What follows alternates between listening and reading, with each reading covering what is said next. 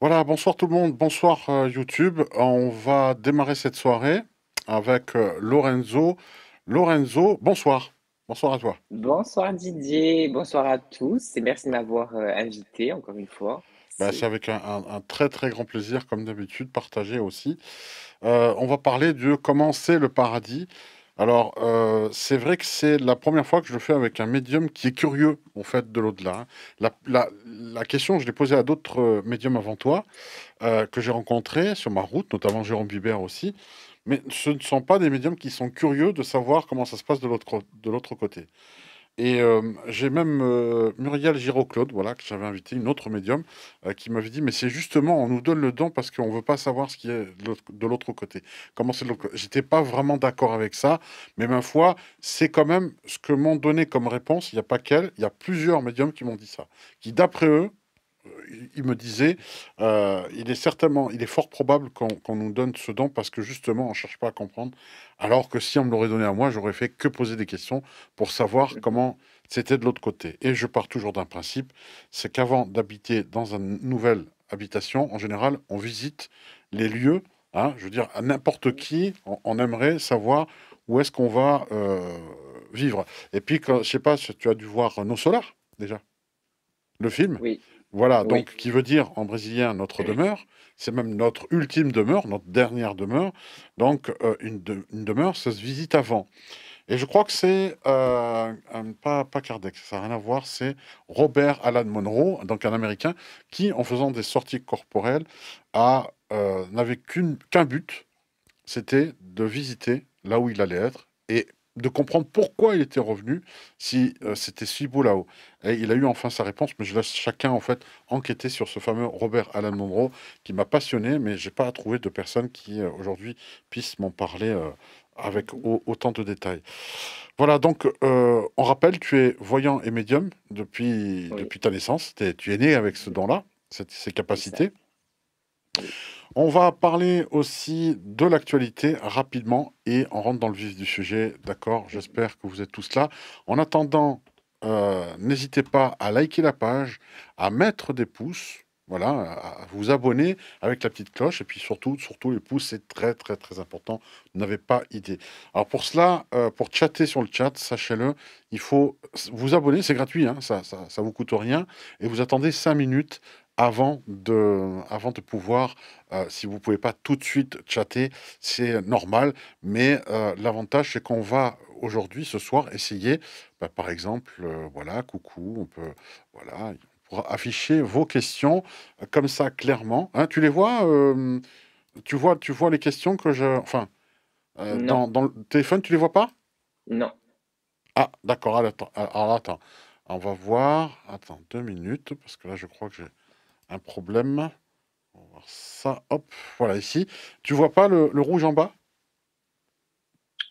Non, tu vois pas. Alors, on va voir un petit peu ici, on va refaire un essai pour voir.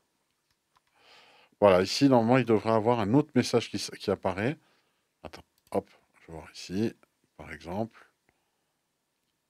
Voilà, voilà, tu vois, Véronique Jesualda, Catherine? Non, Non. non, Bon, je je te les lirai alors. Je te les lirai, tout le monde lira et je te les lirai moi à un moment donné en, en temps voulu. Alors, ce qu'on, euh, vous, comme vous le savez, on- avec des studios, on s'engage euh, sur 30 jours en tout cas, euh, pour, du 20 novembre au 20 décembre, à soutenir l'association Cœur et Conscience. Donc, vous avez ici, en fait, vous pourrez parrainer un enfant. Alors, je vais en parler brièvement, mais c'est une ONG qui a fondé il y a plus de 15 ans à m'aider pour aider les enfants, en fait, euh, les sortir de la famine à Madagascar. Euh, il n'est pas question, qu'on soit bien d'accord, de, de prendre les enfants, les déraciner de leur lieu, mais au contraire, les faire grandir là-bas, mais leur donner les moyens. Et surtout de l'éducation, en leur transmettant des valeurs. Et sachez que si vous parrainez un enfant, je crois que ça coûte une trentaine d'euros par mois, quelque chose comme ça, euh, vous permettez à l'enfant d'avoir une scolarité, d'avoir des, des soins, et par la même occasion, toute leur famille en bénéficie hein, des soins. Donc ça, c'est juste formidable. Euh, c'est pour nous pas grand-chose. Bon, ça dépend pour qui aussi, c'est vrai. Mais voilà, pour une trentaine d'euros, vous pouvez parrainer. Et il y a eu de formidables témoignages euh, de personnes qui ont, qui ont, qui ont pas, passé le cap, hein, le pas, qui ont donc parrainé euh, des enfants et qui, par la même occasion, derrière, ont eu une relation épistolaire, c'est-à-dire par écrit, hein, ça veut dire ça, et par la suite, on fait un voyage, et croyez-moi, les enfants bien prennent leurs parrains et leurs marraines à bras le corps, vraiment, c'est juste magnifique. Et ça, c'est la gratitude et tout la joie que je vous souhaite si vous décidez de passer le pas. Alors, si vous ne pouvez pas vous-même, vous pouvez conseiller à quelqu'un, des personnes qui sont plus aisées, s'ils veulent parrainer un enfant, c'est possible. Ou alors, aussi, vous pouvez voir le clip qui est ici, où on voit euh, vraiment euh, Amédée en fait agir euh, directement là-bas pour œuvrer et éduquer les populations à ce que, justement, à, sauver ses enfants de la famine et à transmettre ses valeurs. Voilà, c'est ce qui se passe. Il y a vraiment un travail de fond. Et à défaut, ponctuellement, vous pouvez aussi faire un don. Tous les liens sont dans la description. Je vous encourage vraiment, vraiment à, faire un don et à participer. En tout cas, à des studios, on est à fond avec eux. Euh, parce que c'est une très très belle action. Euh, je vous le dis en toute confidence, Amédée m'avait euh, convié en cette fin d'année pour aller à Madagascar, carrément filmer, tourner, pour vous rapporter des images prises. Il le fait déjà hein, de son côté, mais c'était aussi pour me remercier de toutes ces actions et du soutien indéfectible que je lui donne. J'aimerais aussi vous faire un petit éclairage. Alors, en relation justement Lorenzo, avec euh, la soirée de ce soir, puisqu'on parle, on parle du, paradis, eh bien, euh, une femme qui nous a apporté un bout du paradis avant, avant qu'on fasse notre entretien. Et ça a été avec, euh, avec, avec Christelle, c'est Dominique Villaes. Je vous invite vraiment, vraiment fortement. C'est une, des plus belles émissions que j'ai faites, à tel point que pendant l'animation, je te jure que c'est vrai, Lorenzo, j'ai oublié de faire la promo, tout ça et tout, comme je fais d'habitude. C'est un peu normal, tellement j'étais bouche bée devant, en fait, ce qu'elle disait, la beauté de ses mots et l'amour que dégageait cette femme. Donc, vous inquiétez pas, les livres sont toujours en vente. C'est juste que bah, ils se sont vendus, ils sont partis comme des petits pains. C'est de l'auto-édition euh, à chaque fois. Donc, on, l'a appelé, on, a communiqué avec euh, Dominique pour qu'elle nous renvoie en fait les euh, d'autres livres, d'autres exemplaires de ces deux livres, tome 1 et tome 2. La lumière est au bout du chemin et la face cachée de la vie. Et on l'a, on, l'a, ça va être bientôt disponible. Voilà. Donc, surveillez un petit peu en dessous de la vidéo. N'hésitez pas si vous voulez en fournir un peu plus. On va parler aussi de notre invité ce soir, évidemment, Lorenzo ta page Facebook dans laquelle on voit cette magnifique photo où on voit ta grand-mère. Je pense que ce soir, ça va être un peu la star aussi, hein, par la même occasion, n'est-ce pas? On va en parler ensemble. Tu vas nous relater de cette relation parce que c'est elle qui est en train de tout cafeter sur le paradis, hein, si on peut dire ça comme ça. Et euh, on va lui rendre honneur, vraiment, on lui, rend un, un, grand hommage parce que c'est pas, voilà, c'est pas donné à, tout, à, chaque fois de pouvoir avoir ce contact exceptionnel. Et je te remercie d'être le canal principal. Voilà pour, euh, pour Lorenzo. Et puis, n'oubliez pas aussi sa chaîne YouTube. Je sais, c'est long, mais c'est pas mal d'informations parce qu'il a sa chaîne YouTube aussi. Et je vous encourage à, y aller parce que euh, quelquefois tu fais euh, voilà des tirages, tu proposes des choses pour donner l'ambiance du moment. T'en fais pas euh, beaucoup sur YouTube, par contre, t'en fais régulièrement aussi sur, sur ta page Facebook qu'on retrouve ici. Et donc, tu es assez proche, tu appelles d'ailleurs ton public des étoiles, et ça, tu es vraiment un soleil pour eux. C'est juste fabuleux. voilà, donc je on a mis cela aussi, Christine a mis ça sur le Facebook de, de Des Studios. on vous a demandé ce soir c'est quoi le paradis avec euh, voilà ou c'est comment le paradis avec Lorenzo Medium et pour vous c'est quoi le paradis? Là c'est marrant parce qu'on voit euh, le paradis pour moi une fois terminé notre mission c'est Coco qui dit ça sur terre nous retournons chez nous au paradis.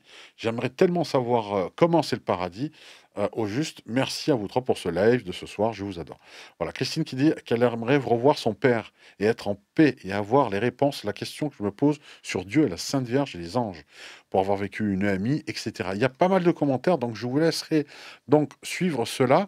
On, de temps en temps, je, te mettrai en fait le, euh, une question en avant, hein, euh, mhm. si tu voudras, et puis essayer de répondre. Ça fera comme ça de manière participative. Ça permettra à chacun de, de voilà, d'avoir ses réponses par rapport à des questions prégnantes. Ouf, J'en ai fini avec la présentation. C'était un peu longué, mais je pense que ça en valait vraiment la peine. Euh, voilà. Donc, merci, merci mille fois à toi, Lorenzo, d'avoir accepté cette invitation. On va euh, commencer avec, euh, avec, avec le début. à partir de quand tu t'es posé des questions? Quand est-ce que tu as conscientisé que finalement, bah, il y a un ailleurs et on n'est pas éternel? Quand est-ce que tu en as pris conscience de ça? Alors, euh, en fait, je pense que j'en ai vraiment jamais parlé de cette étape-là. Pourtant, c'est une étape quand même qui est, importante quand même dans mon parcours. Au moment où, où je me suis vraiment, où j'ai commencé vraiment, on va dire, à me poser des questions sur la vie, sur la mort, sur ce qu'on allait devenir, euh, j'avais 7 ans, entre 7 ans, 7 ans et demi, 8 ans. C'est au moment où j'ai rencontré mon grand-père, ou du moins où j'ai pu voir mon grand-père pour la première fois en tant que défunt. Et euh, on va dire qu'à 7 ans, j'ai vécu comme euh, ce qu'on pourrait appeler une espèce de, de, dépression, si on veut, entre guillemets. Et ce qu'il y a, c'est que cette dépression, je l'ai vécue, mais intérieurement. C'est-à-dire que j'en ai jamais parlé, euh, ni à ma mère, ni à mon père, ni à mes frères, ni à mes sœurs, à personne. Et on va dire que chaque personne dans, la vie, à un moment donné, on va se poser la question sur la mort et, et, et bien on, va, on va se passer, on va dire, toutes sortes d'images, de, de, de, films dans notre tête pour s'imaginer en fait ce qu'il y a après. Et je pense, je pense qu'au moment où j'ai commencé à me poser ces questions, parce qu'en fait pour moi, une fois qu'on mourait, pour moi on était dans une boîte et on, voilà, on restait là, on s'emmerdait. Et dans ma tête, je me disais, mais c'est pas possible, on peut pas rester dans une boîte enfin, éternellement et, et, ne plus rien faire, voilà. Et en fait, à cet âge-là, je me rends compte aujourd'hui qu'en fait, j'avais déjà la conscience qu'une fois qu'on est mort, en fait, la conscience est toujours là. J'avais toujours cette, j'avais déjà cette conscience-là, en fait. Alors que quand on est enfant, on te dit, une fois que tu es mort, tu es mort. Tu penses pas à ce que tu vas penser, est-ce que tu vas, est-ce que tu vas euh, ressentir quelque chose, voilà. Donc, je pense que c'est euh, vraiment à partir de ce moment-là, à partir de mes 7 ans, où je me suis vraiment posé ces questions-là, où je me suis comme une sorte de dépression, comme j'ai dit, où bah, pour moi, une fois qu'on allait mourir, après, on allait s'ennuyer, on allait, euh, bah, on n'avait plus de but, on n'avait plus rien après. Et là, je pense qu'à partir de ce moment-là, ça a dû les attirer, certainement, ou, ou c'était peut-être le moment où il fallait que je les voie, justement. Et, et à ce moment-là, donc, euh, j'ai commencé à voir mon grand-père, défunt, et d'autres personnes par la suite. Et petit à petit, on me montrait qu'en fait, bah, de l'autre côté, il y avait toujours un but. Il y avait toujours une, un, plus, ouais, un but ou un objectif à atteindre. Et après, où je me suis vraiment beaucoup plus intéressé, on va dire, dans le côté paradis, au-delà, c'est vraiment une fois que j'ai commencé à développer des dons et que ma grand-mère était vraiment à mes côtés et que chaque mot qu'elle euh, m'insufflait, on va dire qu'elle me, qu'elle me donnait, c'est pas, alors même si c'était ma grand-mère, et même si c'était une, femme sainte sur terre, euh, elle avait des paroles, elle avait des mots avec un, avec espèce d'amour par derrière qui était beaucoup trop fort par rapport aux phrases ou aux livres que j'aurais pu lire ici sur Terre. Et elle me parlait avec un espèce d'amour et de d'attachement qui était quand même énorme, je trouve. Euh, et je pense qu'à partir de là, j'ai vraiment commencé à lui poser un peu toutes sortes de questions. Euh, et où elle m'a montré des images, où elle m'a fait sentir des choses. Voilà. Je pense que c'est à, partir de là où ça a commencé. À partir de 7 ans, donc à peu près par là, où tu as commencé à poser des questions? C'est ça. Non, du moins, à partir de 7 ans, moi, j'ai commencé à me poser des questions, on va dire, dans ma tête. Oui. Et euh, une fois que j'ai vraiment développé mon don, que j'ai rencontré ma grand-mère en tant que guide, etc., là, on va dire que je me suis, je me suis jeté sur l'occasion, on va dire, euh, pour, euh, pour creuser vraiment ce côté-là. Parce que, bon, moi, j'aime pas tout ce qui est caché. Et tout ce qui est caché, j'aime le découvrir. Donc, c'est vrai que j'ai creusé, je creuse encore aujourd'hui parce que, comme on le dit, hein, je suis encore sur Terre, donc j'ai pas non plus toutes, euh, toutes les réponses euh, qu'il faut. Euh, et peut-être pas encore toute l'expérience qu'il faut non plus. Mais en tout cas, du peu qu'on m'a montré pour le moment et du peu de ce qu'on m'a fait ressentir, je pense que c'est déjà pas mal. Voilà.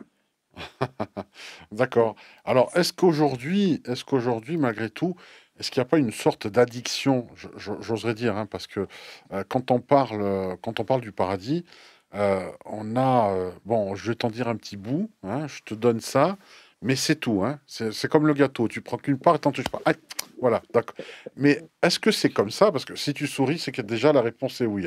Tu as toujours voulu en savoir plus dès qu'on t'a donné euh, en fait, tu seras pas. Il semblerait que tu ne seras pas rassasié tant que tu n'auras pas vu les choses par toi-même, quoi.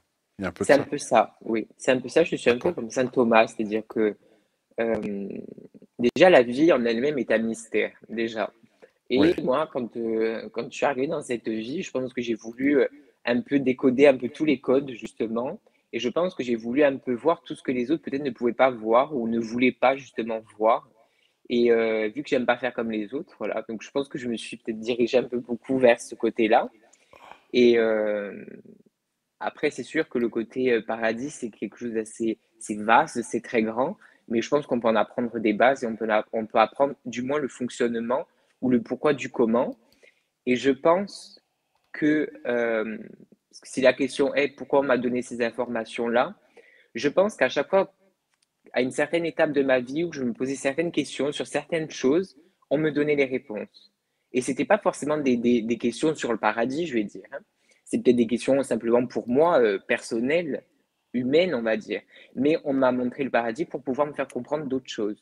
Et on va peut-être en venir dans, ah oui, d'accord. Donc il y avait une raison. C'était pas non plus juste histoire de te donner l'info dans la Gazette et puis écrire que c'était euh, voilà le journal du paradis. Ce serait bien d'ailleurs la Gazette du paradis. ça doit ça doit exister hein, à mon avis. Hein. Ça serait pas ridicule d'ailleurs parce que finalement les informations sont toujours anxiogènes et euh, peut-être que juste une télé du bien-être, bon, ça, en fait partie avec des studios ou autres, mais que ce soit sur la TNT, ça serait bien. Voilà. Donc je le dis. Alors, on va peut-être, euh, on verra pour les questions après, mais donc par exemple, Daya qui dit pourquoi certaines, personnes euh, font des amis, mais très mauvaises, hein, des amis très mauvaises. Mon père, dans le coma, alors qu'il était gentil, on a fait une et du coup, il avait très peur de mourir. C'était terrible pour lui. Donc, il y en a qui ont, apparemment, on va parler, il y a peut-être une histoire de base astrale, de choses comme ça. Il s'est fait peut-être capter parce que si c'était un gentilhomme, faut savoir, on va pas mmh. en douter euh, du tout.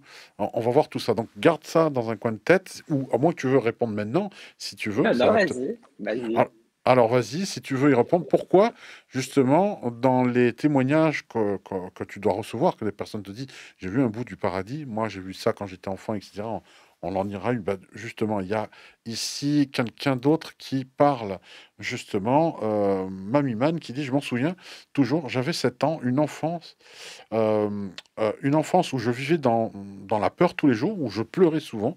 Une nuit, je me suis retrouvé dans un jardin magnifique. Il y avait des fleurs, avec des couleurs comme nous n'en voyons pas ici. Une cascade argentée descendait d'une petite montagne. Et dessus, il y avait plein de petites étoiles qui scintillaient. Et puis j'aperçus un arbre recouvert de fleurs, un seul arbre. Et là, de dos, je vis une silhouette avec de longs cheveux châtains, avec une grande cape rouge. Elle se retourna et mes yeux ne pouvaient plus se détacher des siens. Une couleur lumineuse, intense, pleine d'amour. Avec ses mains, il me faisait signe de venir vers lui. Avec une douceur infinie, je me suis dirigé vers lui et je me suis réveillé. Je je le retrouverai un jour. Hein. C'est certain, dans ce paradis après le soir, j'espérais juste qu'il reviendrait, ainsi que le jardin. Il y a aujourd'hui 65 ans de cela, je n'ai jamais oublié, tout baigné dans une lumière douce, paisible. Je pense que le paradis, c'est ça, un monde paisible, serein et plein d'amour. Voilà, donc on voit déjà que là, il y a, euh, c'est un témoignage poignant. Euh, est-ce que c'est sans mental, ça? C'est pas, Ça peut pas être sans mental. Non, non, non, mais je... non, après, le mental peut toujours, on va dire, être là, oui. Mais euh, quand on revient par certaines expériences et que des détails qui nous, qui nous marquent et surtout des détails qu'on va toujours, euh, comment dire, répéter à chaque fois en fait. Voilà, je pense qu'il y a, il y a des preuves pour cette personne, du moins elle en a pour elle-même de toute manière. Après, ça peut être le côté de... Oh, ça faisait pas partie d'une EMI, e ça? Voilà. Non, non, c'était pas une EMI, non, non, non. Voilà, et je pense tout simplement que cette personne, elle doit avoir des dons, certainement. Elle est certainement aussi bloquée par certaines choses au niveau énergétique ou au niveau euh, vibratoire. Et je pense que ce rêve ou cette méditation, on va dire, qu'elle a pu faire, ou ce voyage qu'elle a pu faire, on va dire, moi, je pense que c'était pour lui faire euh, prendre conscience de certaines choses. D'accord. Pour moi. D'accord, oui, d'accord, je, comprends. Et euh, faire prendre, donc il y avait un message à travers cela. Donc on dit souvent que là où on n'a plus de forme, qu'il n'y a plus de ça, ça j'aimerais qu'on en parle aussi. Est-ce qu'on garde son apparence? Parce que ta grand-mère, elle t'apparaît Est-ce qu'elle est en noir et blanc, en couleur? Est-ce que tu as le son et l'image? Est-ce que tu... Voilà, comment déjà se passe de l'autre côté Puisque si... Déjà, est-ce que la réincarnation, première question, je suis désolé, hein, je suis très dispersé parce qu'il y en a tellement, j'ai des milliards de questions à te poser. Euh, la réincarnation, oui, elle existe ou pas? Oui. Bon, alors, ça veut dire que ta grand-mère, pourquoi elle prendrait cette forme plus qu'une autre? Mhm. Est-ce qu'elle prend, on prend la dernière incarnation qu'on a fait, la forme? Alors, ce qu'il y a, c'est que euh, alors je prends l'exemple de ma grand-mère. Ma grand-mère, euh, si on va dans le côté lignée karmique, lignée de vie, on va dire que ma grand-mère, elle, elle a fini toutes ses missions, toutes ses lignées karmiques, toutes ses, euh, tous ses objectifs. Voilà, ça, elle a terminé. Elle me l'a expliqué. Et en fait, une fois qu'on commence, donc euh, une fois qu'on s'est réincarné une fois, deux fois, trois fois, quatre fois, on peut aller jusqu'à 150, 300, 8000 fois. Tout dépend de ce que l'âme a besoin. Et tant que l'âme, on va dire, n'a pas compris ou n'a pas assimilé, enfin, on va dire certaines choses, elle redemandera une, réincarnation pour revenir et réentamer un petit moment sur Terre pour comprendre des choses.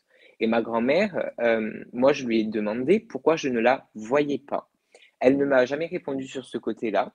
Alors pourquoi je ne la vois pas Ça resterait un mystère pour le moment, ou pas, ou pas. Ce que je sais, c'est que je l'entends, c'est déjà plus que bien, ça c'est sûr. Et ma grand-mère, au niveau des autres défunts, on va dire, je celle que j'entends le mieux, le plus, le plus précisément, le plus fort possible. Celle que, et que je comprends le mieux aussi. Euh, et ce que, je, ce que je pense, du moins, c'est que je pense qu'aujourd'hui, ma grand-mère n'a plus forcément de... Bah, le corps physique, ça c'est clair qu'il n'y est plus, mais pour moi, en fait, le paradis, c'est comme une forme de conscience, c'est-à-dire qu'une fois que tu as coché toutes tes cases, tu vas rentrer dans une certaine conscience, et cette conscience-là, eh ben, le jugement n'existe plus. Euh, même si dans l'au-delà, on dit que le jugement n'y est pas, la jalousie non plus, le côté colère n'y est plus. Oui, oui, parce que dans le dans l'au-delà, on va dire, tu as le bas astral, tu as le tu as le, côté de lumière, donc tu vas avoir des âmes plus des bonnes comme des âmes plus ou moins mauvaises, on va dire. Tandis que dans le paradis, pour moi, c'est comme si on switchait en fait. C'est comme si euh, c'était on prenait comme une forme de conscience, puisque une fois qu'on est au, paradis, pour moi, c'est des êtres de lumière. C'est plus des défunts. Euh, c'est plus, on va dire, des êtres de lumière, des guides, euh, spirituels, des anges, euh, des archanges, et plus haut, plus haut, plus haut. Voilà. Pour moi, dans le paradis, c'est ce qu'on retrouve. C'est-à-dire que toutes les personnes sur Terre, un jour ou l'autre, iront au paradis. Mais combien de temps il leur faudra, combien d'incarnations il leur faudra, ça, on ne sait pas. Voilà. Mais pour moi, le, on, va dire, on va dire la phase finale, euh, une fois qu'on a fini toutes nos vies, une fois qu'on a terminé, on va dire, tous nos pardons dans l'au-delà en tant que défunt, et ben après on va au paradis. Voilà, notre conscience se change, notre état se change, on devient, je pense, beaucoup plus lumière, encore plus qu'avant, parce que justement on est encore plus haut. Et je pense qu'au niveau, euh, on va appeler ça comme ça, au niveau paradis, euh, je pense qu'il n'y a plus de machine arrière. Voilà, je veux dire, une fois que tu y es, tu y es, tu y restes. Et tu restes euh, sain, tu restes lumière pour tout le temps, pour toujours. Tout le temps, toujours. Mais euh, quand même, il y a, une chose. Euh, tu dis que ta grand-mère et, ton guide, est-ce qu'elle l'a décidé? Est-ce qu'elle a demandé en disant J'ai mon petit-fils là, je viens de le quitter, j'aime bien son guide Est-ce que c'est elle qui l'a demandé? Est-ce qu'un guide peut décider Ou est-ce que toi, tu as demandé Voilà, grand-mère, deviens mon guide? Comment ça s'est passé déjà? Déjà, ce qu'il faut savoir, c'est que le guide, on le rencontre au niveau de la descente vibratoire, du moins avant la descente vibratoire.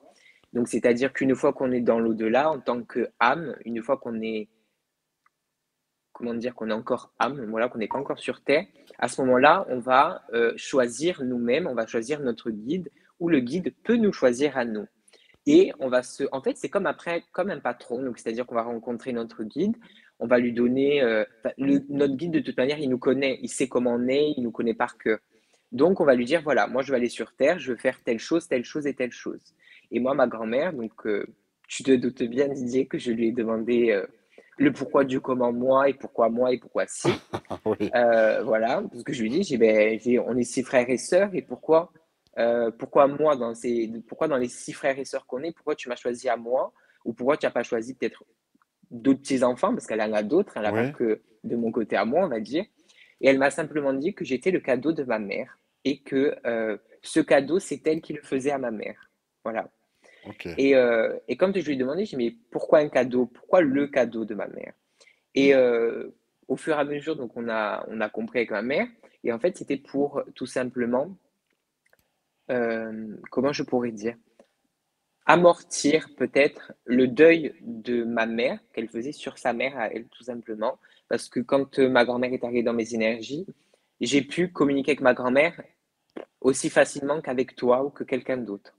Donc ma mère, son deuil, son pardon, et ce qu'elle n'a pas accepté du départ de, sa mère, donc de ma grand-mère, elle a fait son pardon euh, à ce moment-là. Du moins, c'est ce qu'elle me dit. Voilà.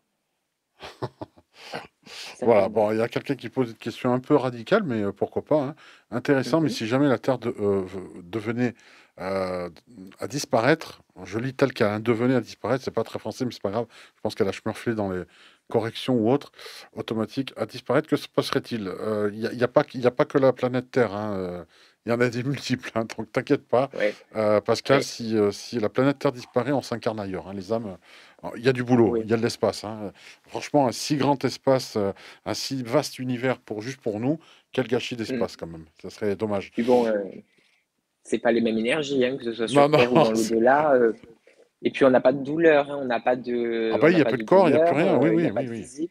Donc je veux dire qu'elle, on va dire que la Terre explose ou qu'elle reste sur place, ça nous changera en rien à nous, en rien du tout. D'accord. Du moins en tant que âme, hein, bien sûr. En, tant, qu'âme, oui, bien sûr, bien sûr. Alors là, on peut, euh, on peut voir par exemple que euh, ces, ces guides-là peuvent travailler. Alors ça, c'est aussi une chose qui m'a beaucoup étonné. Et c'est en discutant avec Jérôme, c'est là qu'il m'a fait prendre conscience, mais ça aurait pu être même pas un médium qui m'aurait fait prendre conscience de ça en disant, mais ils n'ont pas de corps, ils n'ont plus besoin de, il n'y a plus besoin de sexe, il n'y a plus besoin de se nourrir, il n'y a plus besoin de dormir. Donc j'ai en fait, c'est des bosseurs H24, quoi. Et en plus, à la vitesse de la pensée, ils peuvent être de partout. Oui, ils peuvent en plus se dupliquer. Et donc, si ta grand-mère est ton guide, elle peut être aussi mon guide à moi, elle peut être, donc elle s'occupe de plusieurs personnes. Est-ce que tu l'as posé la question de dire, est-ce que je te suis exclusif ou tu t'occupes de plein de personnes? Et si oui, de combien? T'a-t-elle dit cela? Alors, euh, je lui ai demandé, euh, en tant que guide spirituel, elle n'est seulement pour le moment mon guide à moi, ça c'est sûr, parce qu'elle me l'a dit depuis le début de mon parcours. Par contre, euh, dans l'au-delà, elle s'occupe aussi des jeunes enfants qui arrivent dans l'au-delà. Donc, de temps en temps, alors c'est, je ne sais pas quand, hein, je ne connais pas son, son planning ni son programme, mais euh, je sais que dans l'au-delà, elle s'occupe beaucoup des enfants qui arrivent dans l'au-delà, donc elle doit les accueillir, elle doit s'occuper d'eux, leur donner de l'amour et leur montrer tout simplement l'endroit où ils doivent aller, ou se rendre du moins. Et euh, elle s'occupe, euh, on va dire, euh, de certains de mes frères. Je sais qu'elle qu'elle veille sur certains de mes frères, qu'elle veille, pas qu'elle guide, hein. qu'elle qu'elle sécurise, qu'elle protège, on va dire, bien sûr sur ma mère et sur les frères de ma mère. Voilà, pour le moment, c'est ce que je sais sur elle. Et on va dire qu'un guide, quand vous lui posez la question de qu'est-ce que tu fais là-haut ou pourquoi tu fais ça, ils peuvent mettre beaucoup de temps à répondre. Parce que je pense qu'ils doivent être dans le côté de est-ce qu'il doit avoir la réponse ou est-ce qu'il doit attendre ou pouvoir vivre quelque chose pour avoir cette réponse? Et on va dire que quand je demande à ma grand-mère, je n'avais pas forcément la réponse de suite. Pouvais avoir la réponse deux semaines après, qui allait venir direct. Voilà. Ah oui, mais ah, ça peut mettre autant de temps, c'est fou. Hein. J'ai l'impression, ouais, j'ai l'impression que ça mettait beaucoup plus de temps que le côté voyance, on va dire l'information va descendre, voilà. Et que sur certaines, certaines grosses questions, on va dire que je, je leur ai posées, euh, c'est vrai que, mais de toute, façon, de toute manière, avec les guides, il faut pas être dans le côté d'attendre, voilà, et pas non plus être pressé parce que c'est ce qu'ils t'apprennent, c'est la patience. Moi, je pense que c'est la première leçon que j'ai appris dans ma médiumnité, c'est la patience. La patience, avant tout ça, euh, franchement, je préfère. Euh, de comment nous apprend la patience sur Terre et comment vous l'apprendre dans l'au-delà, c'est pas pareil du tout. Pas pareil. Du tout. C'est pour ça que je suis plus patient pour eux que pour ici. Alors, une question aussi de Farida qui dit Peut-on communiquer avec, avec le Tout-Puissant une fois qu'on est là-haut. Par exemple, est-ce que ta grand-mère a eu euh, avec ce qu'on peut appeler Dieu le Père, voilà, pour ceux selon les, religions, mais euh, voilà, est-ce qu'elle a accès, est-ce qu'elle est à, la droite ou à la gauche de Dieu? Est-ce qu'elle a vu la Sainte Marie, la, Vierge, le Christ, ou, ou je sais pas? Est-ce qu'elle t'en a parlé de ça? Alors, euh, comment dire? Moi, elle m'a jamais dit j'ai vu Dieu ou j'ai vu tout autre seigneur, on va dire, ou voilà, ou chef, je ne sais pas comment les gens veulent l'appeler. Elle ne m'a pas forcément jamais parlé de ça parce que, euh, comment dire, dans, mes, dans ma médiumnité, si, si, tu veux, on me parle jamais de. Comment je pourrais dire On me parle jamais de Dieu vraiment. Alors, il y a certaines personnes, alors c'est pas pour critiquer ni juger, hein, Mais il y a des médiums que je connais ou des voyantes euh, qui vont me dire, moi, je suis en contact avec Dieu, moi, je travaille avec Dieu tous les jours dans mes consultations. Ok, ok. Euh, moi, je n'ai pas Dieu avec moi, je n'ai pas euh, Sainte Thérèse, je n'ai pas Sainte Rita, non. ou du moins, ils sont peut-être là, mais sous d'autres formes, ou peut-être avec d'autres noms, j'en sais rien. Mais dans tous les cas, pour moi, ce qui est sûr, c'est que ma grand-mère ne m'a jamais parlé spécialement de Dieu le Père ou d'une sainte ou d'un saint. Non. Pas que je pas que je me rappelle. Du moins, ça, je pense que ça m'aurait choqué, interpellé. Euh, donc non, tout ce qui est vraiment le côté vraiment... Euh, en fait, voilà, le, le, tout de ce qu'on m'a dit par rapport à des personnes qui pourraient être plus hautes que, par exemple, que ma grand-mère, elle me dit qu'ils sont un. Elle me dit ils sont un, ils sont un tout. Mais elle ne m'a jamais parlé d'une seule personne euh, en particulier ou plus importante qu'une autre. Jamais. Ça a été toujours dans l'unité ou toujours dans le côté de général. On est amour ou je suis amour, mais elle m'a jamais parlé d'une personne en particulier. Alors, euh, Rose j'aimerais bien que tu répondes à cette question. Alors, je te lis, puisque tu ne le vois pas. Mon fils est guide auprès de personnes qui décèdent brutalement, comme lui. Va-t-il les récupérer car ils sont perdus et ne savent pas où ils sont? Euh, Voilà. Euh, est-ce que, voilà, c'est un médium qui lui a confirmé cela. Est-ce que, justement, parce qu'il est décédé brutalement, d'un coup, la mission d'une âme, tu, parles de ta grand-mère qui, elle, s'occupe de mhm. recevoir des enfants. alors, pourquoi On ne sait pas, mais bon, voilà, c'est peut-être elle qui l'a choisi. Mais est-ce qu'une âme qui décède brutalement sur Terre va s'occuper euh, de ces âmes qui meurent aussi brutalement de la même manière pour leur dire tout va bien, je suis passé par là, t'inquiète pas, je vais te guider Est-ce qu'il y a ces affectations presque de manière d'affiliation par rapport aux circonstances de la mort moi, je dirais que, moi, je dirais que non. Alors après, la dame, ce qu'elle dit, c'est peut-être possible hein, que son fils est guide pour les mmh personnes qui décèdent brutalement comme lui. C'est possible largement. Mmh après, euh, si on rentre dans la situation de la dame, son fils, s'il a été déjà décédé brutalement, euh, pour moi, ça m'étonnerait qu'il soit guide. Hein, pour moi. Pourquoi? Parce qu'un guide, euh, pour qu'il soit guide, justement, il faut qu'il ait passé beaucoup de vie et qu'il ait eu comment je pourrais expliquer? Il faut déjà qu'ils comprennent la mort. Et quelqu'un qui est décédé, décédé brutalement, je ne pense pas qu'il va vouloir prendre cette mission au sérieux. Je ne pense pas. Après, c'est possible. Si le médium lui a confirmé, c'est OK. Euh, je ne vais pas juger. Euh, mais pour moi, est-ce que c'est approprié à chaque défunt, par exemple Je donne un exemple. Euh, un défunt qui est mort euh, du cancer des poumons, est-ce qu'il va s'occuper de chaque personne qui meurt du cancer des poumons? Pour moi, non. Non. Justement, lui en haut, il va peut-être se guérir déjà, il va apprendre de sa maladie et il va peut-être partir sur un autre domaine. Voilà, tout simplement. Parce qu'en principe, le côté maladie, le côté santé, je ne sais pas s'il lui touchera encore. Parce que déjà que ça a été euh, une grosse étape qu'il a vécue dans sa vie. Alors, est-ce qu'il il reprendra cette mission dans l'au-delà? Je ne sais pas. Mais pour moi, ce n'est pas approprié à la mort la mission qu'on peut avoir dans l'au-delà. Non. D'accord. Alors, on D'ailleurs, c'est des missions qu'on peut décider nous, hein, parce que c'est nous qu'on les demande des missions. Ok, très bien. On va poser, euh, on va partir aussi pour dire, tu, tu, disais qu'à un moment donné, euh, ta grand-mère, donc, euh, qui est partie de l'autre côté, dans une autre émission, on va en parler plus en profondeur, mais il était question qu'elle passe la main à un autre guide. Et toi, tu as tu as résisté en disant non, je veux te garder toi comme guide. Donc il y a eu une, espèce de, de, rabbin que tu as eu. Tu as eu euh, voilà, quelque chose qui a été rajouté et on te comprend. Mais finalement, moi qui dis grand-mère, dit une personne à retraite. on est d'accord? Bon, là-haut, il n'y a, a, pas de retraite. Il n'y a pas de retraite alors? Ça n'existe pas vraiment. Alors, je pense simplement, je pense simplement que juste le fait de dire paradis, je pense que c'est le plus beau mot qu'ils peuvent entendre. C'est-à-dire, que pour moi, alors il y a l'au-delà. L'au-delà, je ne dis pas que c'est non plus euh, l'amour fou tous les jours. Je ne dis pas ça. Tu dois soigner des choses, tu dois pardonner, tu dois prendre sur toi. Tandis que quand tu rentres dans le paradis, que tu prends cette conscience de paradis, je pense que euh, c'est la meilleure récompense qu'on peut avoir en tant qu'âme, je pense. C'est-à-dire que ton boulot, tu l'as fait sur Terre, tu l'as, tu l'as fait plus, que, plus qu'un peu. Euh, tes missions, elles sont toutes validées, elles sont toutes cochées, elles sont switchées, donc je pense que c'est déjà le top. Et en fait, je pense que la retraite, comme tu peux l'appeler, ou on va dire la récompense qu'on peut avoir à la fin, à la fin du début du mois, on va dire, euh, je pense que c'est ce qu'on appelle le paradis. Je pense que c'est cette conscience de, de tranquillité, de, calme, et puis il n'y a plus de, tu n'as plus de questions, tu n'as plus de, problèmes comme tu pourrais avoir encore dans l'au-delà ou dans, dans ici sur Terre, tout simplement. Voilà.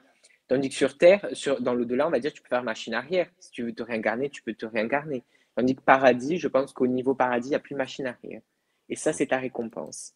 Ça, c'est ta récompense ultime, on l'entend bien. Mais par contre, euh, bon, on va pas parler, euh, on va pas dire stupidement, il faut tant de vie. Euh, c'est pas, mmh.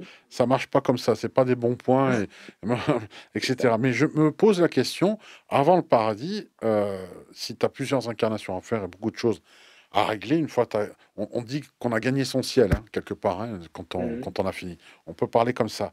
Simplement. Euh, est-ce qu'il n'y aurait pas un hall de gare avant de monter dans le train pour aller dans le paradis Et quelque part, le bas astral, ça serait l'équivalent du hall de gare qui attendent un train éventuel pour les emmener vers une colonie? Pourquoi pas? Puisque dans, dans, dans nos solars, on parle quand même de la 42e colonie. Donc, euh, ce qui voudrait dire qu'il y aurait 42 lieux spéciaux. Il y a des personnes qui demandent sur le chat hein, tout à l'heure aussi, qui, euh, qui disaient est-ce que, est -ce que les, les animaux vont sur le paradis, mais dans le même temps que nous, dans le même plan que nous? Est-ce qu'ils ont un paradis à part dans lequel ta grand-mère peut aller voyager? Euh, J'ai aussi ta grand-mère dans ma tête, je, me dis, mais est-ce que par exemple le chocolat lui manque, si elle adorait ça par exemple? Est-ce qu'il y a des choses comme ça qu'elle regrette en se disant, voilà, au paradis c'est formidable mon chéri, c'est super, mais ça, ça, quand on est vivant, on l'a que lorsqu'on est incarné. Qu'est-ce qui lui manque à ta grand-mère aujourd'hui euh, tu l'as entendu, ça Ah bon? Parce que le premier message que ma grand-mère m'a donné, c'est le sucre me manque et le chocolat me manque. Ah voilà. là là Voilà. Et euh, moi, ça me faisait rire parce que, euh, vu que ma grand-mère, au tout début, je, bon, maintenant elle le sait, mais je ne m'y intéressais pas forcément à elle parce que pour moi, vu que je n'avais pas connu, je n'avais pas forcément de questions sur elle ou j'ai pas forcément ça. Et quand elle, a commencé à venir dans mes énergies, que, que j'ai parlé avec elle, avec l'intermédiaire d'une autre médium, etc., les premiers messages ont commencé à venir en claire audience et j'ai commencé à entendre ma grand-mère. Et moi, euh, je suis quelqu'un qui, j'adore le chocolat. Mais le chocolat, c'est un peu comme une addiction pour moi, on va dire ça comme ça. Et un jour, je suis euh, dans ma cuisine et je dis à ma mère, je dis, maman, mamie me dit que le sucre et le chocolat lui manquent. Et elle me dit, ben, mamie, ta grand-mère, elle adorait le sucre et le chocolat. Elle faisait que ça, à manger des petits bonbons, toujours, des, toujours avec de la sucrerie, toujours du chocolat tout le temps. et euh, alors, même si c'était quelque chose d'imagé, elle me disait qu'elle profitait de l'odeur du chocolat et du, du, goût, on va dire, du sucre euh, à travers moi. Elle disait ça. Euh, et d'où est venu le fait où elle me donnait des, comment je pourrais dire, des recettes, on va dire, pour, euh, par exemple, je donne un exemple, pour des masques maison, par exemple, où elle me donnait, et je me rappelle, je peux donner un exemple, un jour, j'avais euh, un champignon qui est sorti sur euh, le côté de mon ventre, et je me rappelle ce jour-là parce qu'une semaine après, je vais aller et je devais faire, je devais participer à Mister Corse. Et, et je demande à ma grand-mère, je dis, mamie, je dis, mais ça n'en ira jamais ce truc-là, je ne sais pas ce que c'est, il faut qu'il s'en aille. Et elle me donne une, astuce, une, recette, on va dire. Elle me demande, elle m'envoie en image euh, un pot de crème très très gras, une, crème très très grasse, et elle me montre la mer. Et elle me dit, il faut que tu combines les deux. Alors, je ne comprends pas. Et en fait, elle me disait de prendre tout simplement cette crème grasse et d'y mélanger du sel dessus. Alors bon, j'ai fait ce qu'elle m'a dit, j'ai étalé sur mon ventre, j'ai étalé cette crème avec ce sel eh bien, je peux te le jurer et te l'assurer, tu peux demander même à ma mère, euh, deux jours après, le champignon, on va dire, commence à s'estomper. Et le jour de Mister Corse, je n'avais Waouh, waouh. Et ça, je pense que c'est les premiers messages très, très forts que j'ai eu au tout, tout début de ma médiumnité avec ma grand-mère. Ah ouais, donc ça commence par le chocolat et ça finit par une mousse au chocolat. Voilà, on va dire ça. Combien d'étapes doit-on passer, euh, doit passer un défunt avant d'arriver au paradis? C'est Laetitia, merci pour ta question. Euh, est-ce que ta grand-mère t'a expliqué qu'à un moment donné, elle était peut-être dans une salle d'attente comme d'un médecin avant de dire bon, c'est votre tour, euh, On va... Est-ce qu'elle a vu le film de sa vie avant Est-ce qu'il y a eu la pesée de l'âme dont on parle Telles, Quelles ont été les étapes classiques qu'elle a vécues Et est-ce que c'est commun à tout le monde? Et je te demanderai après, est-ce qu'il existe un enfer? Question Alors, euh, ma grand-mère, de ce qu'elle m'a expliqué par rapport à son, à son départ, euh, les premières choses qu'elle m'a qu'elle m'a montré déjà par rapport à son départ, c'est qu'elle est partie tranquillement. Et elle est partie dans des fleurs. C'est-à-dire qu'elle m'a dit, elle m'a montré, comme s'il y avait comme une espèce de comme une espèce de décor, on va dire, qui s'ouvre devant elle.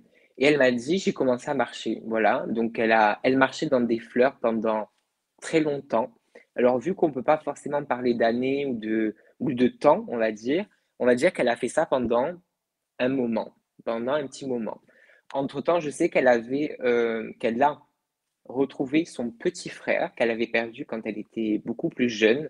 Ça, c'est ce qu'elle m'a dit. Ça, je le sais. Au début de son, de son parcours, elle a retrouvé son fils aussi, qui était décédé euh, peu de temps avant elle. Et euh, elle a commencé, on va dire, à devoir pardonner des choses sur quoi Des choses sur des personnes qu'elle leur en voulait, par exemple, ou, ou des choses qui la rendaient triste par exemple, peut-être des, choix aussi qu'elle a pu faire peut-être sur Terre, des choix qui ont pu peut-être ne pas être euh, drôles pour elle. Et ça, elle me l'a expliqué qu'elle a dû euh, euh, retracer certains souvenirs qu'elle a fait dans sa vie. Donc, elle m'a pas forcément dit j'ai vu le film de ma vie, mais elle m'a dit qu'elle a retracé certains schémas de sa vie, certaines grosses périodes de sa vie, et où elle a dû en juger bon ou mauvais, on va dire, mais il a fallu, on va dire, qu'elle pardonne, dans tous les cas, si elle voulait rentrer à la lumière. Et euh, du coup, tout se relie et, et, tout a une signification. Pourquoi je, dis, pourquoi je dis toujours amour et lumière? Parce que ma grand-mère m'a dit la première chose qu'on m'a appris, c'est l'amour et la lumière. Voilà. D'où est sortie mon, ma phrase fétiche que je donne toujours amour et lumière. C'est-à-dire que ma grand-mère, quand elle me parlait, euh, tout était amour avec elle et tout était lumière. Voilà, quand elle venait me parler, c'était mon chéri, j'espère que tu vas bien, j'espère que tes consultations euh, t'ont plu, par exemple. Voilà, et elle était toujours trop amour. Et moi, je disais à ma mère, je dis, tu vois, maman, pourtant, toi, tu me, tu m'aimes, tu m'apportes beaucoup d'amour, ça c'est clair. Une mère, on la, peut pas la comparer par rapport à ça. Mais j'expliquais à ma mère, je dis, tu sais, l'amour que mamie elle me donne, je peux pas te l'expliquer, maman, parce que c'est un amour qui est trop fort, trop fort. Et et de tout cet amour-là, ce qu'il y a, c'est que ma grand-mère, elle m'en a rempli de cet amour-là.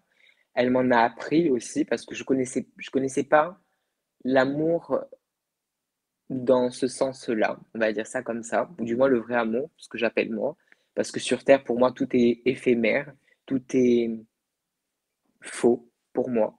Et quand on goûte ne serait-ce qu'une seconde ou même deux minutes à l'amour de l'au-delà ou du paradis, euh, comme tu l'as dit, ça en devient une, addiction. Voilà. Ça en devient une addiction.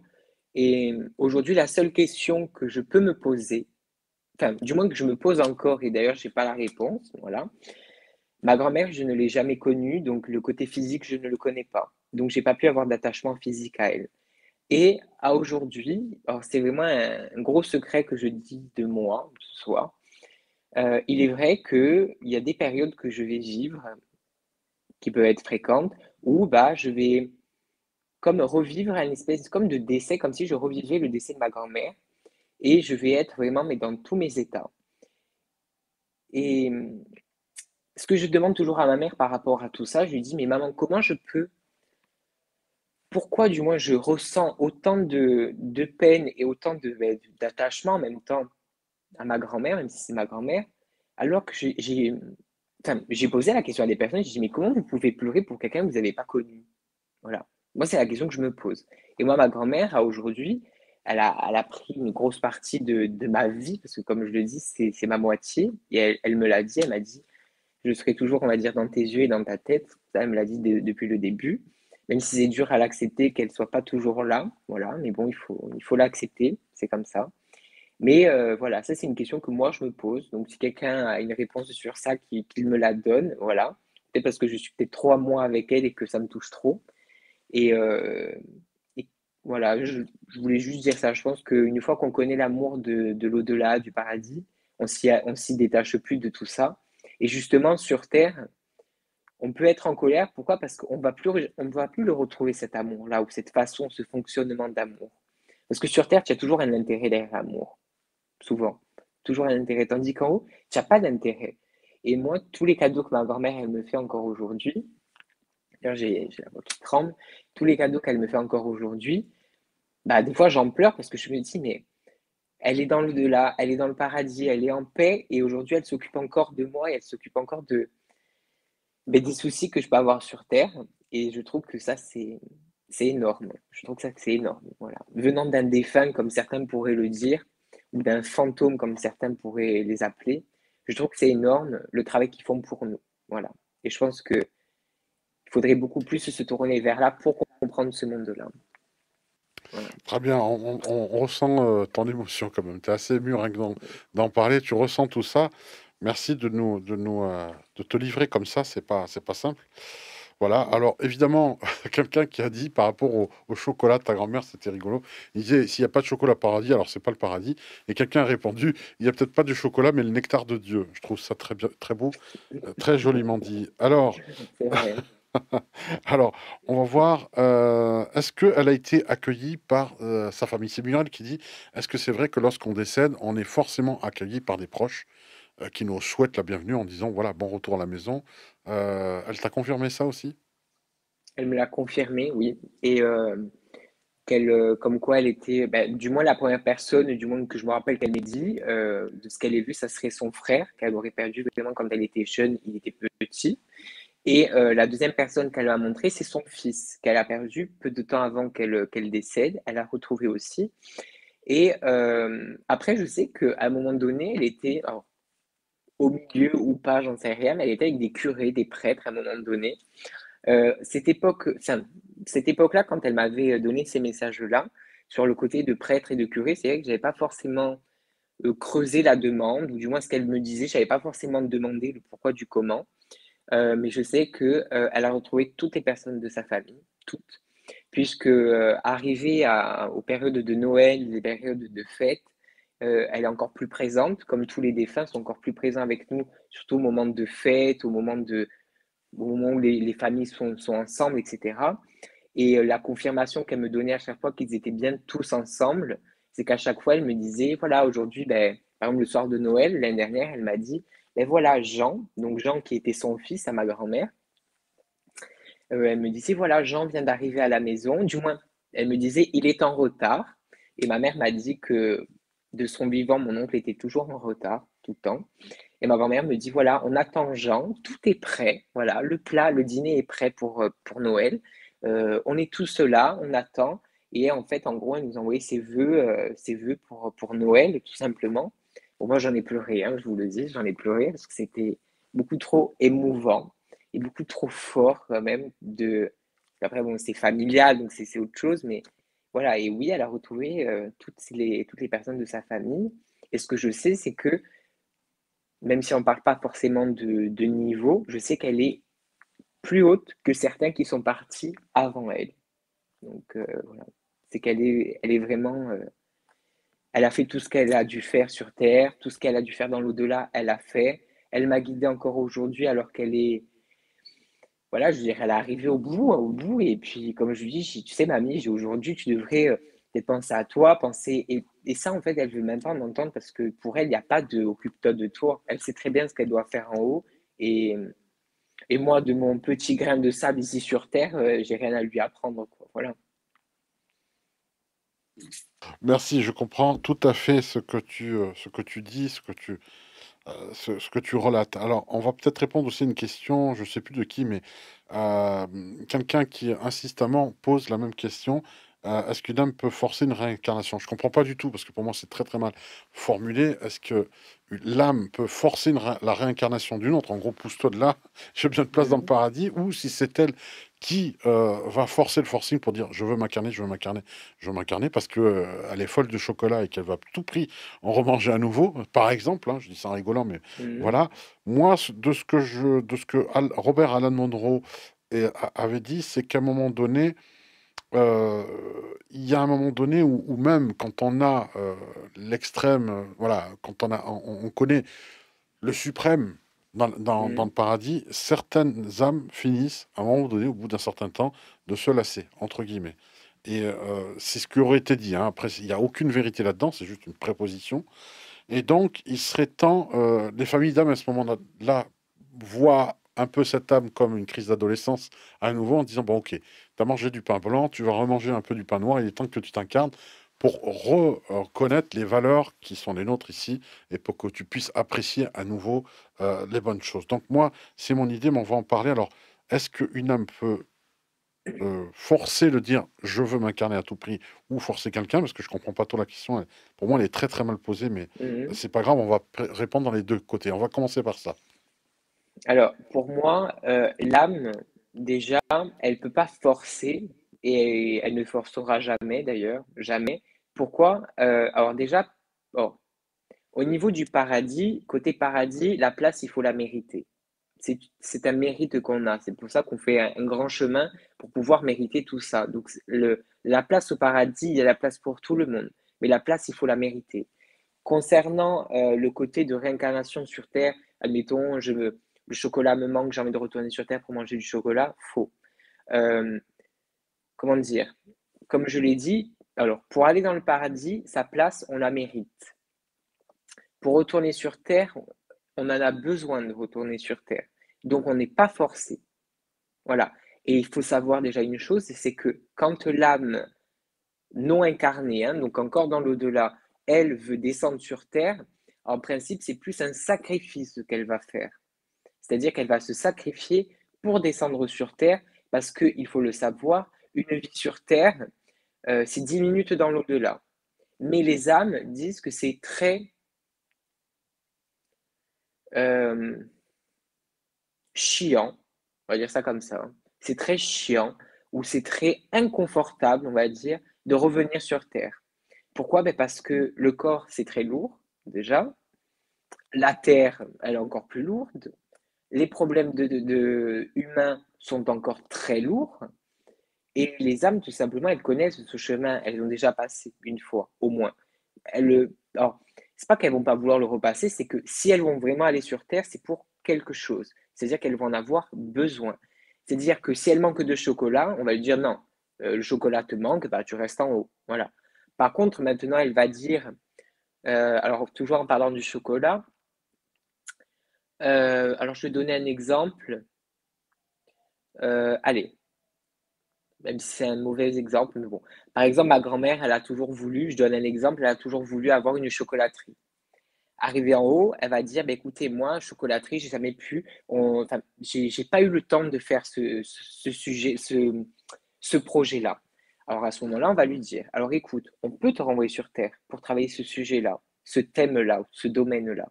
Mais par contre, pour repasser sur ces traces-là, je donne un exemple. Par exemple, il va falloir peut-être que tu revives la très mauvaise relation que tu as eue avec ton père. Alors là, l'âme, elle va réfléchir parce qu'elle va se dire, bon, je reviens pour du chocolat, mais entre-temps, il faut que je revive avec mon père, entre-temps. Et ça, j'en ai pas forcément envie. Donc l'âme, quand elle descend sur Terre, c'est un sacrifice. Et c'est pas euh, une envie qu'elle a, c'est un sacrifice. Elle doit descendre sur Terre pour pouvoir évoluer et remonter dans l'au-delà. Puisque notre demeure n'est pas sur Terre, elle est dans l'au-delà de notre demeure. Voilà. Ou dans le paradis. Voilà. Voilà ce que je peux répondre à. Merci pour euh, cette réponse des plus complètes. Tu es très précis, hein, donc c'est très appréciable. Donc, euh, est-ce que les âmes s'entraident entre elles? Est-ce qu'une âme peut monter, euh, aider une autre âme qui, qui est perdue à monter? Oui, on l'a vu tout à l'heure, Mhm, puisque ta mhm, grand-mère a, a cette mission de, de s'occuper euh, des enfants. La- la- le fils de euh, Rose Ma- Marie-Ange qui, qui s'occupe des, des- des morts, on va dire, brutales, subites, mhm. donc les accompagne comme ça. On va voir maintenant. bon, ils sont accueillis par la famille, on a répondu à ça. Alors, quelque part, j'ai envie de dire. Alors, je vais parler de quelque chose. Je vais en profiter pour en parler aussi. euh, c'est par rapport euh, au, au fait que moi, j'ai l'impression qu'il n'y a pas de répit déjà sur Terre. Par exemple, quand on voit une mère, elle s'occupe de ses enfants euh, toute sa vie. Et souvent, quand tu vois une femme, elle met en pause toutes ses passions, tout ce qu'elle faisait, le temps d'éduquer ses enfants. Et puis, euh, mais quand ils sont grands, le problème, c'est que c'est pas fini. C'est qu'après, il y a les petits-enfants qui viennent. Voilà. Sauf que là, c'est vrai que j'ai souvent posé la question aux grands-mères et aux grands-pères, parce que j'ai des sœurs et des, frères et sœurs qui sont grands-pères et, grand-mères, et qui semblent encore plus gaga qu'avec leurs enfants. Donc je leur ai posé la question, parce que ni moi ni toi, on peut, on peut savoir ça, on, ne l'est pas. Donc j'ai demandé, et puis ils m'ont dit, bah, parce qu'on les a pour les bonnes choses, on, peut les gâter pour rire, on les rend, après c'est plus notre problème. Si on les bourre de chocolat et qu'ils réclament du chocolat, on s'en lave les mains. Bon, c'était une boutade, mais c'est une façon de parler. Et j'ai jamais compris, en fait, en tout cas, ce qu'il y a, ce que je me suis dit, c'est que euh, pour moi, je, trouve que la femme a déjà une vie sacrificielle en elle, vraiment sincèrement. Hein. Euh, pour ensuite, euh, bah, c'est pas fini. Une fois que les gosses, je dis toujours, on en prend pour minimum 20 ou 30 ans avec un enfant. Mais derrière, ça continue, même quand le gamin se barre, il t'emmerde à nouveau, mais avec ses petits. Donc, même si la grand-mère, et j'entends bien les grands-mères me disent on ne prend pas ça comme une corvée. Hein, au contraire, on est super heureuse d'avoir les nounous. Mmh. Je, eh ben, je, me dis toujours, mais quand est-ce que vous pensez à vous, en fait, à votre gueule, juste pour ça? Parce que pour moi, j'y crois absolument pas. Les enfants, c'est pas une passion.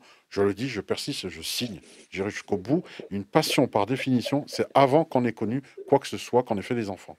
Donc, voilà. Quelqu'un qui est, mmh. qui est passionné de musique à 15 ans et qui n'a pas, qui a pas de gamin, c'est une vraie passion. Les gamins viennent après. Donc, c'est pas une passion, les gamins. Pour moi, c'est clair et net et précis là-dessus. Mais euh, si tu veux, quand on décède, c'est la même chose.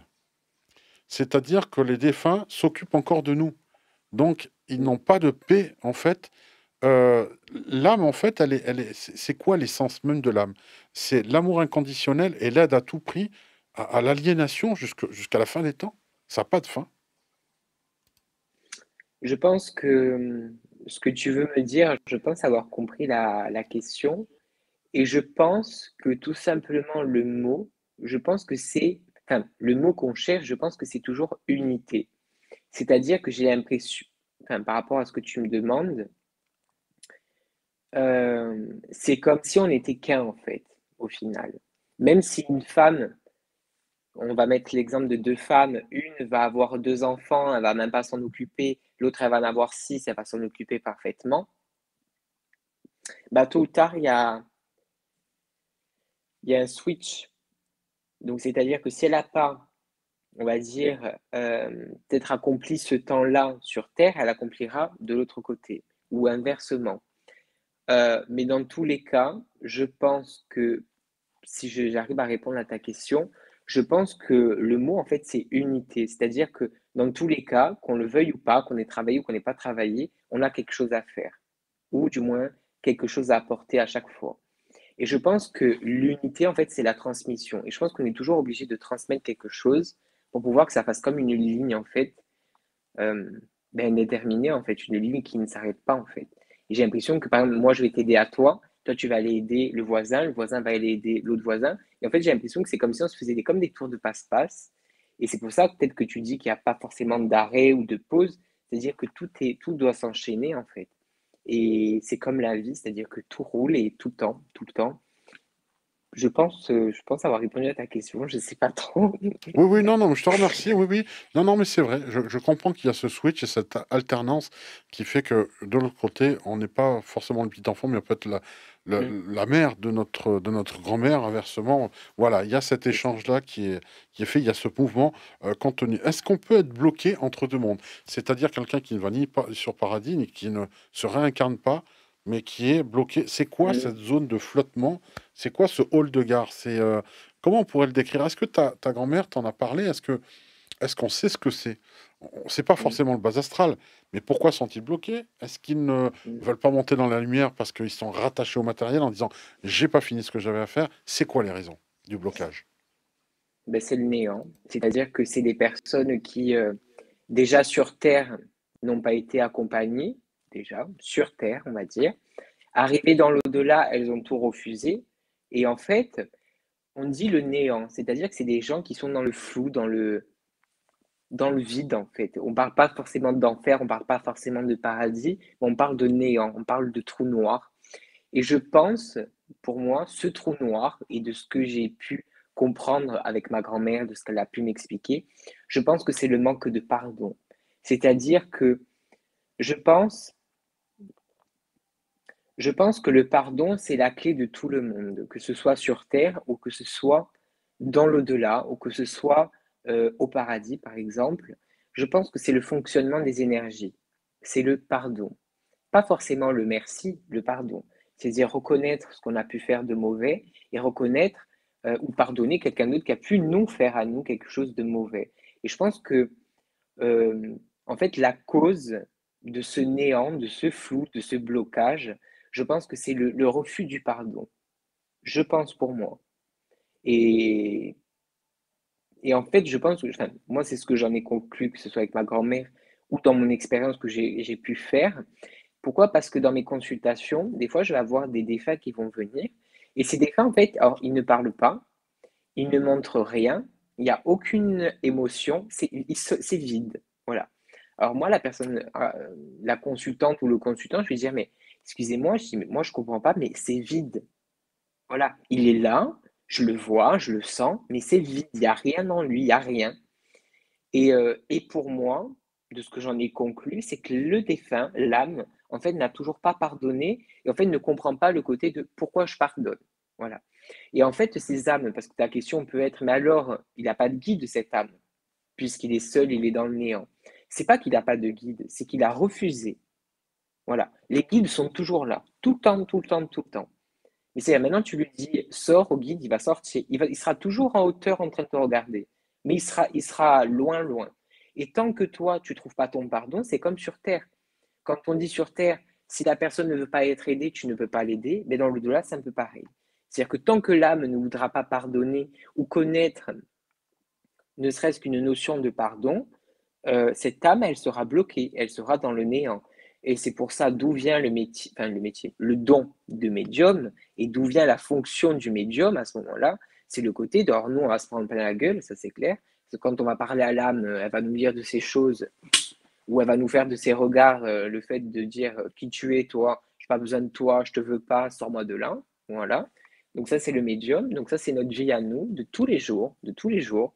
Les âmes qu'on va croiser, qui n'ont pas forcément envie de nous regarder, euh, ou du moins qui vont nous regarder d'un certain air, qui vont beaucoup nous déranger, ou qui vont venir nous voir pendant la nuit, mais parce qu'ils sont bloqués, donc ils, se, ils, se, ils, se, ils se promènent, voilà. Donc vu qu'ils ne savent pas où aller, ben, ils se promènent et ils dérangent les autres. Ils dérangent, entre guillemets.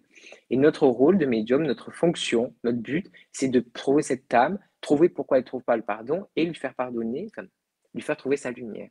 Et ce qui vient aussi à celles qui ont le don de passeur d'âme, tout simplement. C'est-à-dire que on va à la recherche du pardon pour l'âme et on va l'aider avec elle, avec son guide, avec ses guides, et on va l'aider à rentrer dans le pardon, du moins déjà à connaître et à savoir qu'il y a un pardon.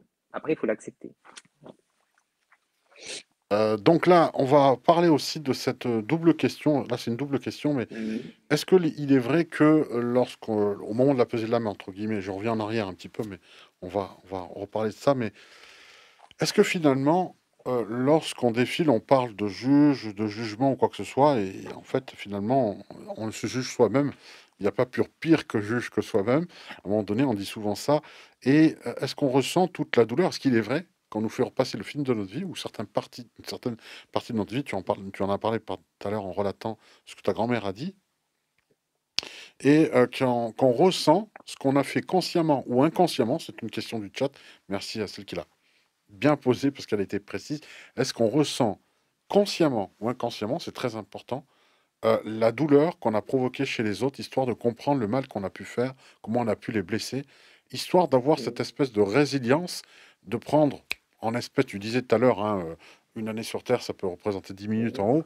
Donc, en quelques minutes comme ça, prendre la sagesse de toute une vie. Alors, déjà, la souffrance, elle n'est pas physique, puisque le physique n'existe plus. La, souffrance, donc, elle est, on va dire, inconsciente. Du moins, elle est dans le conscient. Et la souffrance qu'on peut connaître, parce que je l'ai sentie, pour sentir, je l'ai senti, la souffrance qu'on peut avoir, c'est comme quand on est en dépression sur Terre. Voilà. C'est-à-dire qu'on a les mêmes pensées dans la tête, les mêmes images, les mêmes couleurs. C'est les mêmes choses. Et voilà comment on peut souffrir du mal qu'on a pu faire sur Terre. C'est un mal qui ne peut pas. Un mal physique, on peut l'enlever, on peut le soigner, on peut le guérir. Tandis qu'un mal une souffrance inconsciente, donc on va dire les mentales, si on peut dire ça comme ça, euh, tu peux pas l'enlever comme ça. ou tu peux pas mettre un pansement, ça va mieux. Et c'est-à-dire que tant que tu ne te pardonnes pas ou que tu comprends pas la notion du pardon, tu vas souffrir et tu vas souffrir pendant longtemps. Et en plus de souffrir, tu vas emmerder les autres. C'est-à-dire ta famille qui, elle, est encore sur Terre, en, ayant tes énergies autour de ta famille, tu vas les faire souffrir de ta souffrance à toi. C'est-à-dire qu'il y a des personnes autour mais qui sont encore vivantes, qui elles peut-être partiront en dépression, auront du mal à se relever peut-être du décès de cette personne. Ça, ça va être quelque chose de très compliqué pour l'âme, de revivre des choses. Mais comme on dit, c'est un chemin où on est déjà passé, donc on peut y repasser. Ça, c'est sûr. Après, il faut connaître le pardon. Voilà. Et les guides sont toujours à nos côtés à ce moment-là. Ils vont nous dire, ils ne nous jugent pas, eux. Voilà, ils vont nous montrer, regarde, ça, tu as fait ça, tu en penses quoi? Bah, Là, tu vas dire, tu vas dire, bah, j'aurais pas dû faire ça ou j'aurais pas dû dire ça. Et le guide, va te dire, il, faut que tu, il faut que tu répares tout ça. Il faut que tu pardonnes. Il faut que tu, que tu répares ton, ton, ton conscient déjà pour pouvoir après pardonner.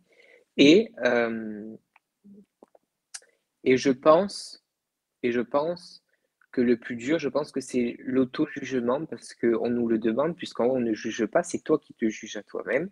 Tu te juges, tu vois ce qui est bon, ce qui n'est pas bon. Et on va dire que tant que de toute manière, tant que tu n'as pas compris euh, tes erreurs, on va te les repasser en boucle et en, tout le temps, tout le temps, tout le temps. C'est comme si tu étais dans une salle avec toutes les images de ta vie, toutes les odeurs de ta vie, toutes les, ouais, toutes les images, toutes les vidéos de ta vie. Et tant que tu ne veux pas pardonner, on va te les retracer, ces images. C'est comme un cercle vicieux et ça ne s'arrêtera pas. Tant que tu ne veux pas comprendre ce qu'on te met devant tes yeux pour pardonner, bah, tu vas l'attendre un moment de ta lumière. Voilà.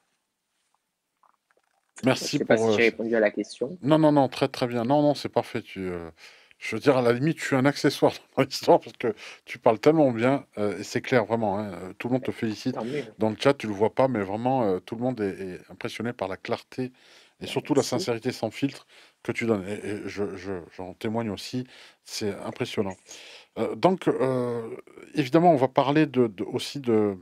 Une fois qu'on a, qu'on a passé, tu, tu as bien expliqué que c'est pas une douleur physique, hein, on ne souffre pas Mm. de la même manière, mais tu as fait une référence à la dépression.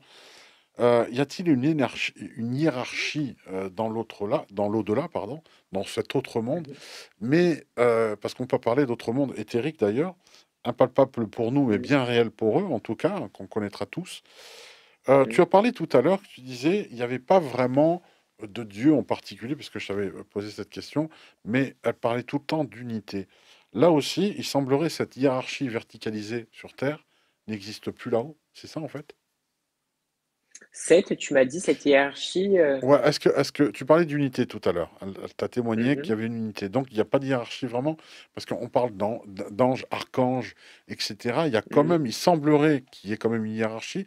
Est-ce qu'elle existe ou elle n'est pas conçue comme nous, comme nous on, on, on la voit avec, euh, il y a un chef, il y a un sous-chef, un sous-fifre. C'est pas perçu de la même manière apparemment. hein. Il y a Alors, une sorte de on va dire que respect. Oui, euh, ça c'est sûr, mais euh, après, ce qu'il y a, enfin, c'est un peu compliqué à, à détailler et à en parler, parce qu'en fait, ce qu'il y a, c'est qu'on va parler de niveau sans être dans un niveau. Et en fait, c'est ce que je voulais faire comprendre, je pense, tout à l'heure. C'est comme le paradis. Le paradis, c'est comme une sorte de conscience, comme si on se, on switchait, en fait. Et, euh, oh punaise, j'ai perdu mon fil. Oh punaise.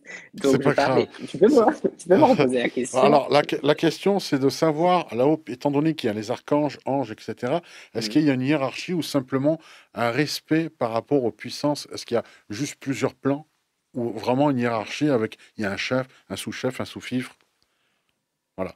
Alors, pour moi, oui. Pour moi, il y a une hiérarchie, ça c'est clair, où il y a des personnes, on va dire, au niveau, euh, niveau euh, pouvoir, on va dire qu'ils peuvent avoir, un peu plus de force que d'autres âmes, mais euh, sans se dire que les autres âmes n'auront jamais cette force. Parce que oui, elles auront cette force. Un jour ou l'autre, elles l'auront.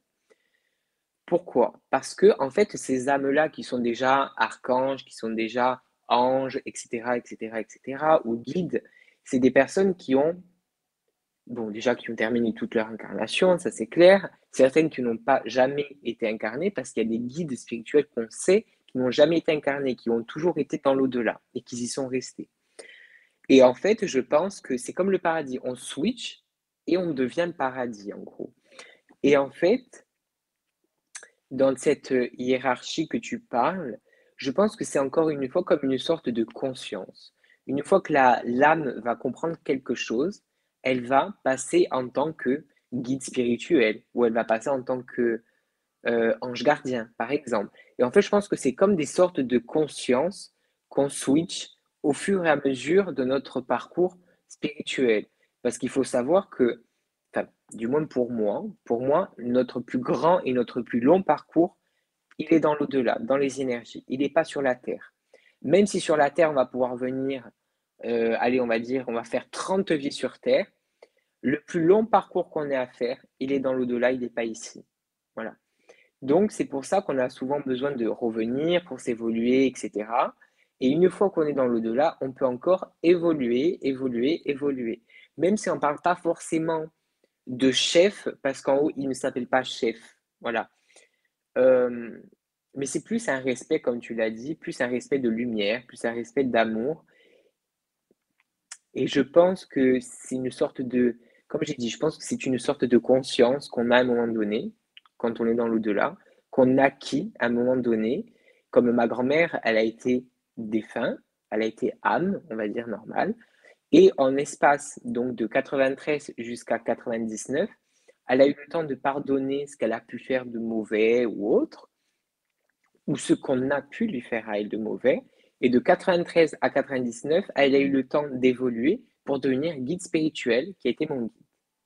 Puisque je suis né en 99 et elle est arrivée le jour de ma naissance. On est bien d'accord, puisque le guide est là depuis ta naissance. Et à ce moment-là, à aujourd'hui, je sais que ma grand-mère, elle n'est plus mon guide, on va dire, officiel, même si pour moi, elle est dans mon cœur et elle le restera. Je sais que dans quelques temps, elle va passer à une étape supérieure. Cette étape, elle n'a pas forcément de nom, mais je sais qu'elle a encore plus de lumière, cette étape puisqu'elle me dit qu'elle pourra m'apporter encore plus. Voilà. Et même si ce n'est pas forcément de la voyance ou de la guidance, elle m'apportera d'autres choses, certainement. Être de la guérison, ça peut être d'autres choses. Mais ce que je sais, c'est que dans peu de temps, elle passe à un autre, un autre niveau, à, une autre, un autre plan. On va dire ça comme ça. Autre plan. Alors, euh, justement pour ça, je vous rappelle aussi à tous, hein, si vous voulez revoir quelqu'un, un témoignage, parce que euh, euh, Lorenzo n'a pas encore écrit de livre, mais ça serait tardé. Peut-être que je te le proposerai aussi. Ça, c'est un projet euh, qui, me, qui, me, qui ferait bien. Donc là, euh, voilà, chronique, euh, voilà, chronique entre les lignes, chronique littéraire avec Dominique Viales. La lumière est au bout du chemin. Vraiment, on va, on va essayer d'en avoir plus pour que vous puissiez voir son témoignage par rapport à ce qu'elle a vu.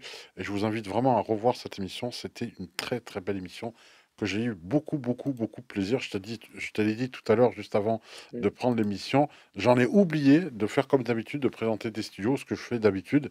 D'ailleurs, on, va, on, va, on va en parler, hein, mais euh, vous pouvez à tout moment, vous le savez, eh bien, retrouver toute l'actualité euh, de des studios sur desstudios.fr. Nos prochains euh, justement, vous pouvez voir les, précédents replays, hein, comme voilà, avec Christian Bourri hier, et puis les prochaines émissions que l'on a ici, évidemment les prochains masterclass qu'on a. Le prochain, c'est au 3 décembre, et après, on verra. D'ailleurs, on fera certainement des masterclass avec, euh, avec Lorenzo en 2022. Dès, janvier, on mettra ça en place. On est en, en pleine discussion là-dessus. Justement, je, devais faire une blague aujourd'hui, je t'en ai parlé. Je ne l'ai pas faite. C'est peut-être pas le soir pour ça. Christine n'était pas d'accord parce qu'on parlait, euh, on parle du paradis. Mais j'aurais voulu avoir de la légèreté, ça t'a fait rire d'ailleurs. On fera peut-être partager ça à la prochaine émission, on verra bien. Euh, si d'ici là, elle a révisé sa position. Dis-moi. Je voulais juste rajouter une chose maintenant que ça me vient juste que j'oublie pas. La seule chose pour les personnes qui demandent, qui disaient le chocolat, est-ce qu'il y a du chocolat dans l'au-delà, etc. Oui. Ce que je sais, ce que je sais et ce que j'en suis mais persuadé et j'en suis sûr à 20 000 ce que je sais et ce qui est toujours présent dans l'au-delà, c'est la musique. Là? Et ça, c'est sûr, et c'est la musique. Ah, la musique est là-bas. Oui, d'accord. Ils entendent des musiques célestes tout le temps. Donc ça, c'est Ça, ça ne les a jamais quittés. Jamais. ça, c'est sûr et certain. euh, tu parlais, on a parlé, la précédente question était sur la hiérarchie, donc tu y as répondu.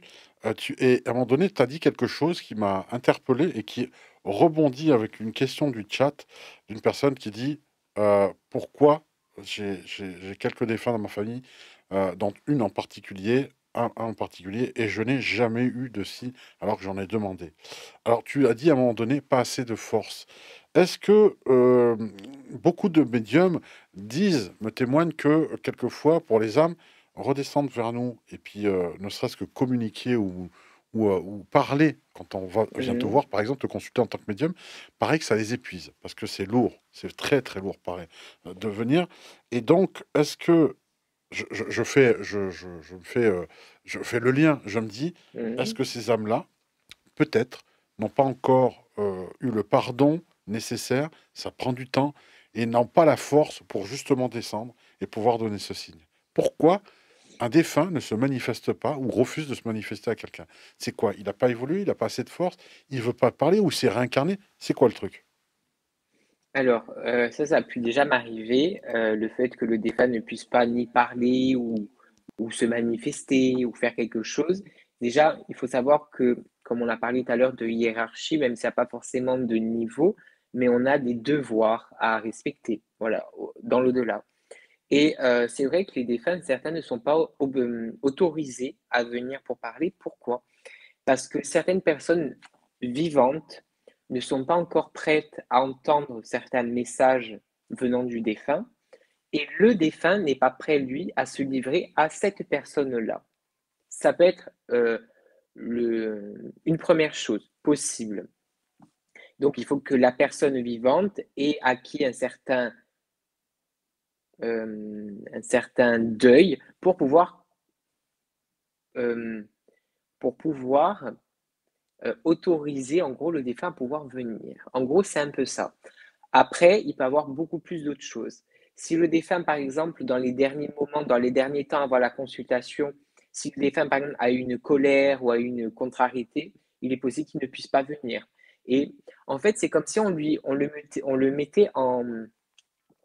C'est comme si les guides le mutaient. C'est comme s'ils le, il le mettaient sur mute pour pas qu'il parle. C'est-à-dire qu'il va pouvoir venir, mais il ne parlera pas. C'est-à-dire que vu qu'il a, perdu de la lumière parce qu'il a été énervé ou il a été contrarié, pour ne pas. Euh, Pour ne pas bousculer la personne qui vient le voir ou le médium, on va le muter, on va, le, on va comme lui enlever le son et on va simplement sentir que le défunt a perdu de la lumière. Et là, ce que je vais demander moi à la consultante ou au consultant, c'est absolument de faire euh, soit des prières pour cette personne, pour cette âme, ou d'allumer une bougie, mais pas qu'une bougie, faire quelque chose derrière, pour pouvoir la remonter en haut et, essayer de l'amortir au mieux possible, parce que le, défunt, quand il tombe bien bien sur le côté euh, sur le côté énergie dure, euh, le défunt souffre et on va souffrir de notre côté aussi. On va sentir des énergies qui ne seront pas forcément euh, agréables. Ou alors, il peut y avoir aussi une troisième possibilité pourquoi le défunt ne se manifeste pas. Moi, ça m'est déjà arrivé. c'est soit parce que, comme tu l'as dit, il n'a pas pardonné dans l'au-delà, ou alors, souvent, ça le côté manifestation, je veux dire, euh, souvent, ils ne vont pas se montrer parce qu'eux-mêmes n'ont pas accepté le physique qu'ils avaient, on va dire, même si en haut, il n'y a, a plus forcément de physique. On va dire, en quittant la Terre, ils avaient un physique. Et ce physique-là, tout dépend s'il y a une maladie ou tout dépend, le physique a changé. Et l'âme, souvent, a du mal, si, si tu veux, à accepter le physique qu'elle avait. Et ça, c'est même si on n'est plus humain arrivé en haut, ce côté, cette image de physique, on peut la, on peut la garder, cette, cette euh, oh là là, comment on dit, cette, euh, cette, apparence, on va dire, physique, on peut la garder. Mais par exemple, si la personne, je donne un exemple, a eu le cancer, elle a énormément maigri en partant, bah, en haut, elle aura toujours cette image d'elle euh, très, très, très, très maigre ou plus de cheveux. Et ça, c'est des, hum, des, des, causes pour lesquelles certains défunts ne vont pas se manifester du tout. Ils vont juste se faire entendre ou sentir, mais ils ne se montreront pas tant qu'ils n'ont pas pardonné le physique qu'ils avaient ou qu'ils ont eu jusqu'à la fin, bah, ils ne pourront pas forcément se manifester. Ou ça peut être un manque d'énergie parce que c'est comme un téléphone.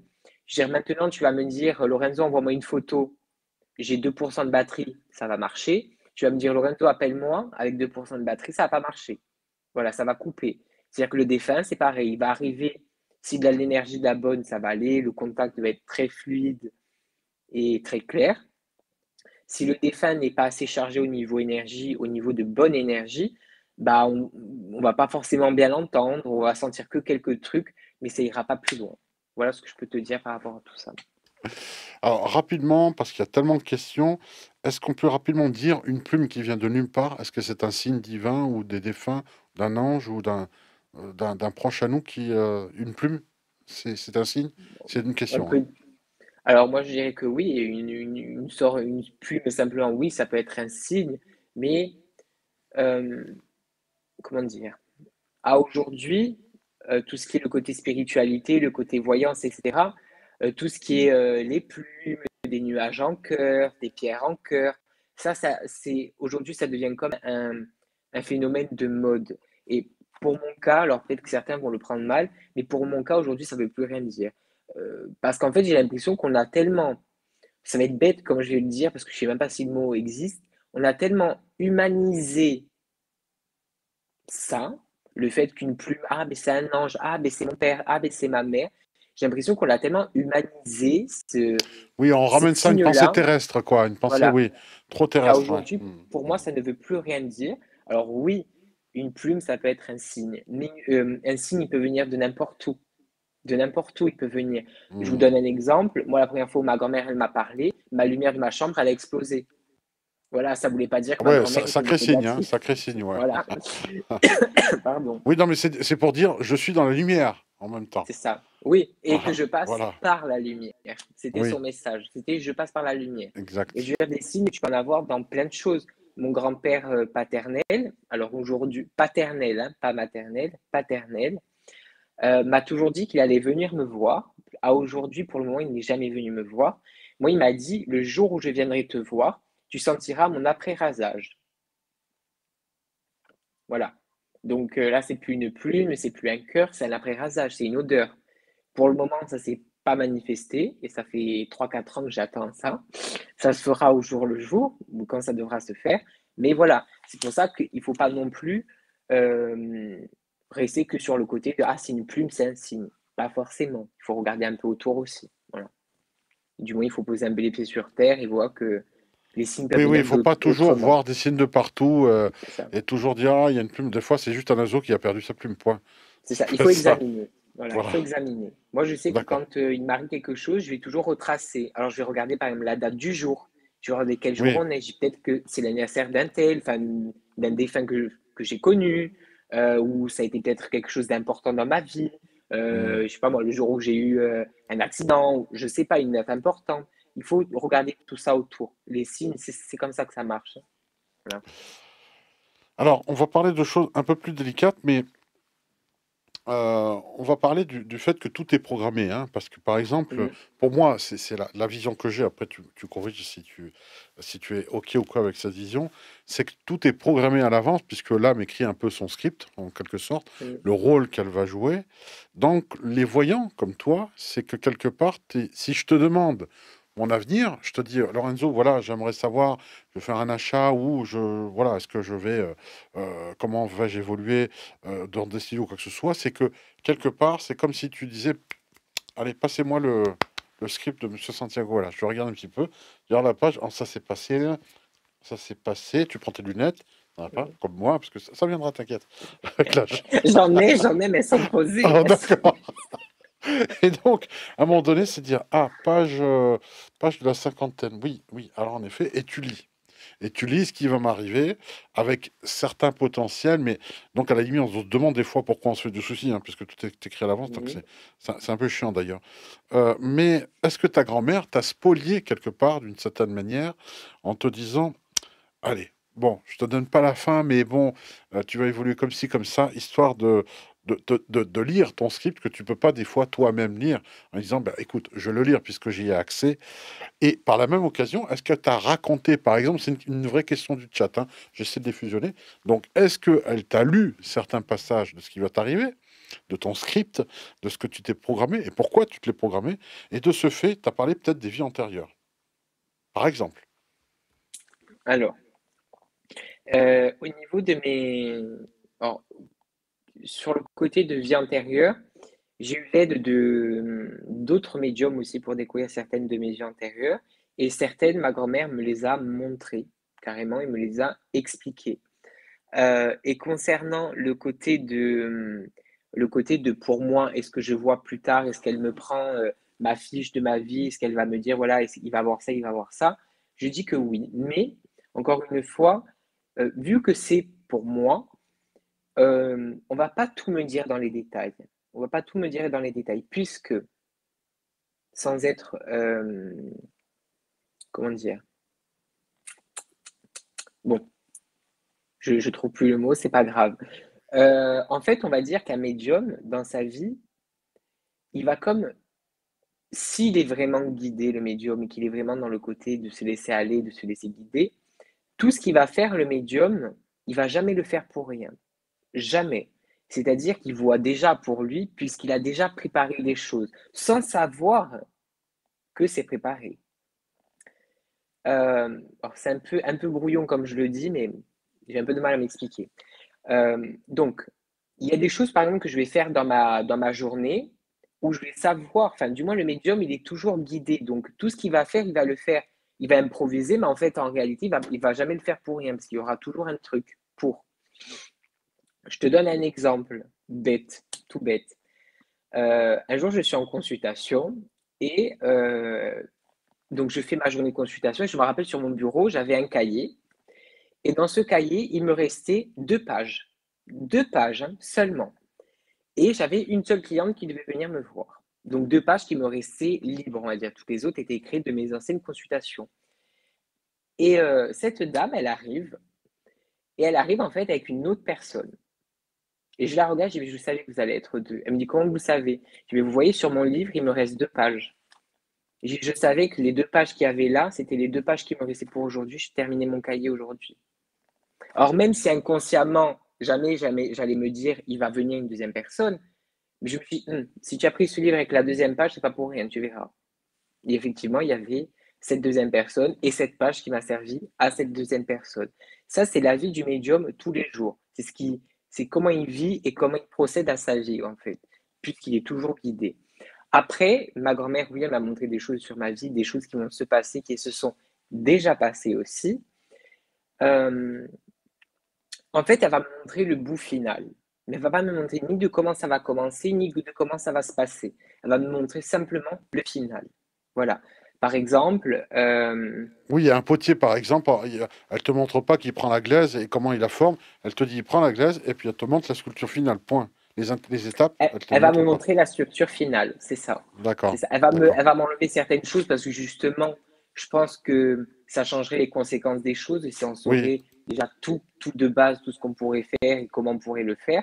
Mais euh, par exemple, avant mon tout premier interview, euh, elle me montrait à la télé. Et je ne ah. comprenais pas. Je me dis, mais qu'est-ce que, qu'est-ce que je fais à la télé? Qu'est-ce que c'est? Et euh, effectivement, un an après, bah, j'ai pu me voir sur YouTube, par exemple. Voilà. Ah oui, Et ça, c'est vrai que c'est, c'est, c'est pas choquant, c'est pas non plus perturbant, c'est plus comme une récompense en fait. On arrive à la fin, on fait Ok, oui, c'est bien ce que vous m'avez montré, c'était bien ça. Voilà. En gros, c'est un peu ça comme quoi on réagit. Merci pour cette, euh, pour cette réponse plus que complète. Euh, on va parler, on va traiter des animaux parce qu'après j'ai trois, trois ou quatre questions qui sont un peu, mhm. un peu, un peu plus délicates. Mais euh, les animaux, voilà, parce que par exemple, je, je, pense toujours pareil en référence à ta grand-mère ou à d'autres âmes aussi en, voyant tout ce, qui se passe de l'autre côté, est-ce que, je ne sais pas si ta grand-mère avait mangé de la viande, par exemple, de sang vivant, est-ce que de l'autre côté, tu as dit, non mais là, on devrait vraiment tous être végétariens, c'est pas possible, le nombre d'âmes animales sont supérieurs au nombre d'âmes humaines, entre guillemets, euh, c'est un flot. Je, vous dis juste, il y a, euh, j'avais commencé à vouloir écrire un livre dont j'ai abandonné le, projet, mais il y a plus de, il y a plus de 1000 milliards euh, d'êtres vivants, de crustacés, de choses comme ça dans la mer et de poissons. Il faut le savoir. Qu'on consomme dans l'humanité, c'est énorme. Il y a 330 millions de bovins euh, vaches, veaux, taureaux et tout. Donc les, veaux, c'est les bébés des vaches. hein. Il faut juste en, en prendre conscience. Donc la blanquette de veau, tu vois, euh, déjà c'est beaucoup moins appétissant. Mais 330 millions euh, de bovins par an pour notre consommation, hum, les bons hamburgers et tout, d'un coup, ils- ils- on les trouve un peu dégueulasses. Donc, euh, et puis, euh, je dis que les bovins, je sais pas combien, je crois qu'on est à plus de 862 millions de poulets, tu vois. C'est c'est énorme hein, quand on voit ça. Euh, Est-ce que tu as, posé la, question à ta grand-mère ou est-ce que tu pourrais la poser maintenant? Est-ce qu'il y a un paradis qui doit être beaucoup plus grand que celui des humains, vu le génocide au quotidien que l'on crée? Est-ce qu'ils ont une place particulière auprès du divin? Euh, voilà, Dis- dis-nous-en ce que tu en sais actuellement. Alors, euh, déjà par rapport aux animaux, ben, ça reste des âmes, hein, comme nous.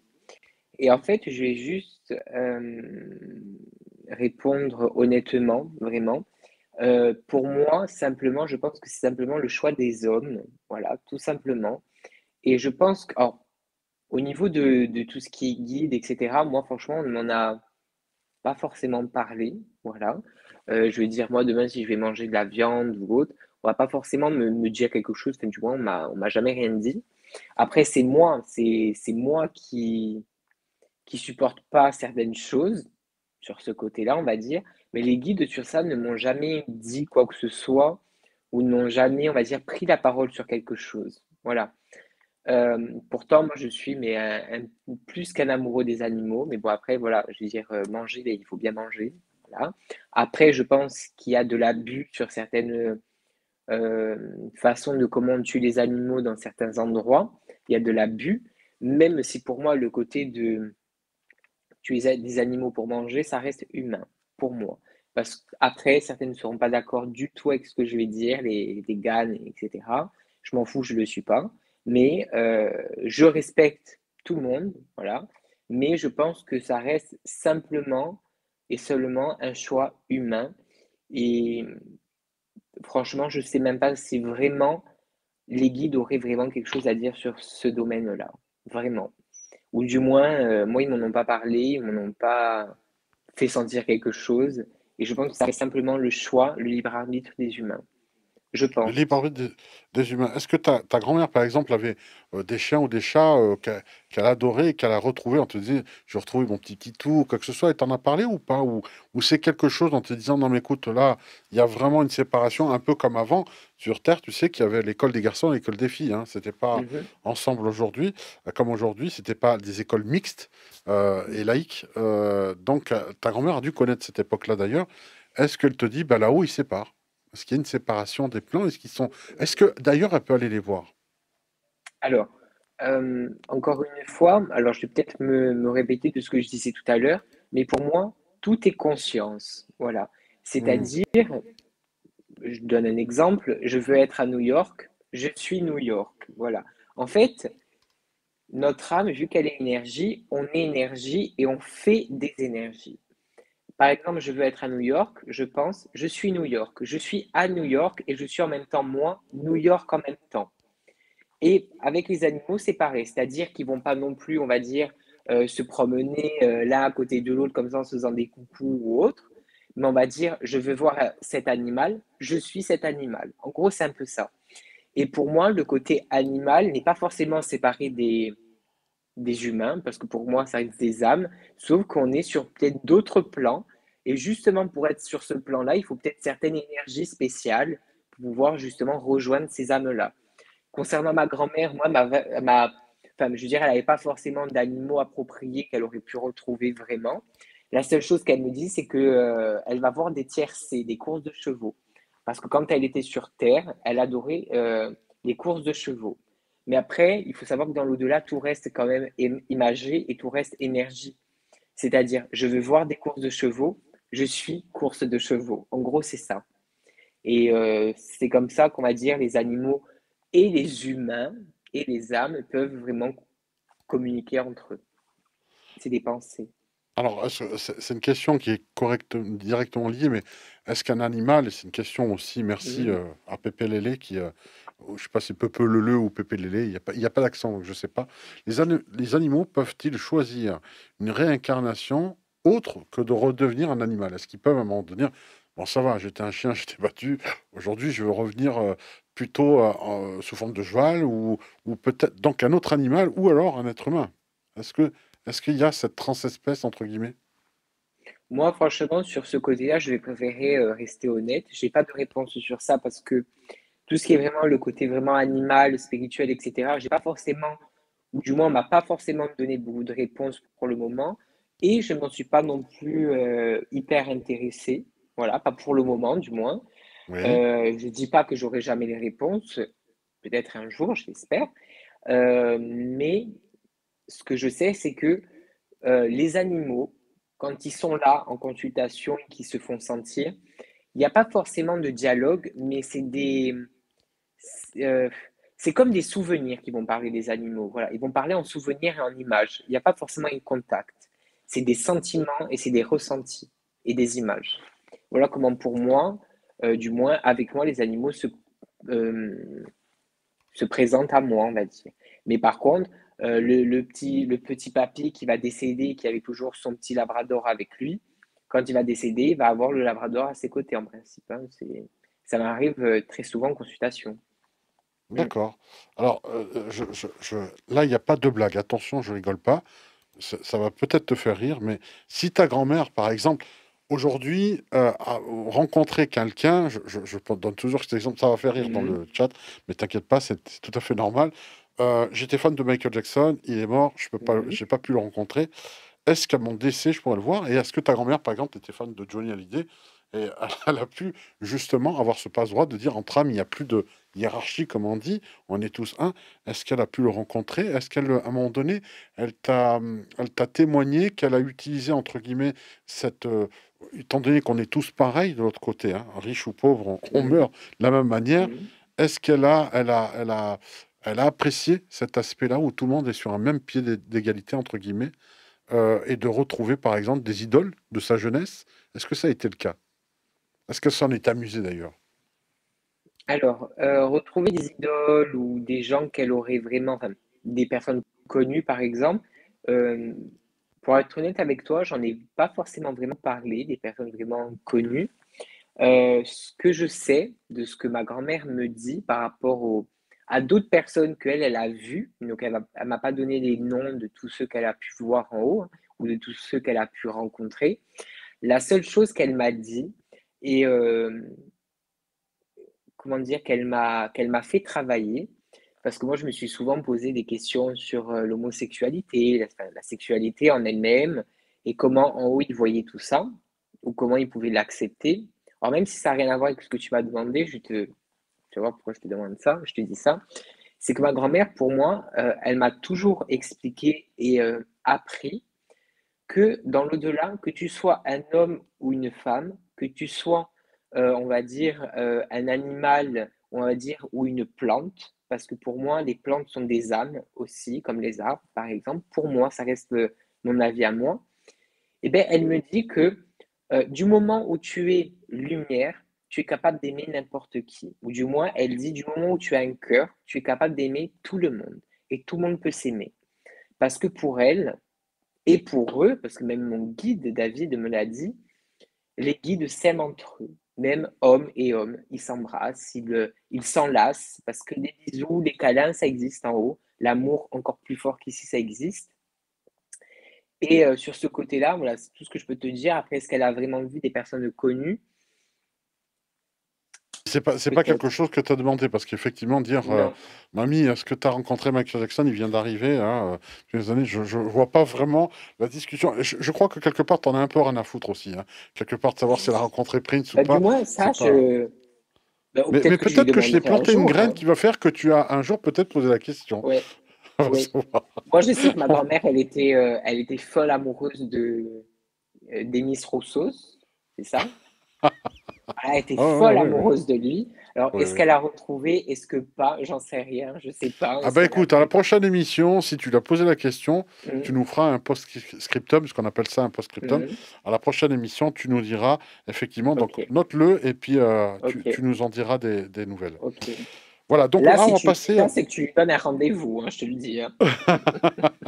En disant ça, tu lui donnes le rendez-vous de venir la prochaine fois. Hein. Ah bah voilà. Elle est comme ça, donc euh, tu verras.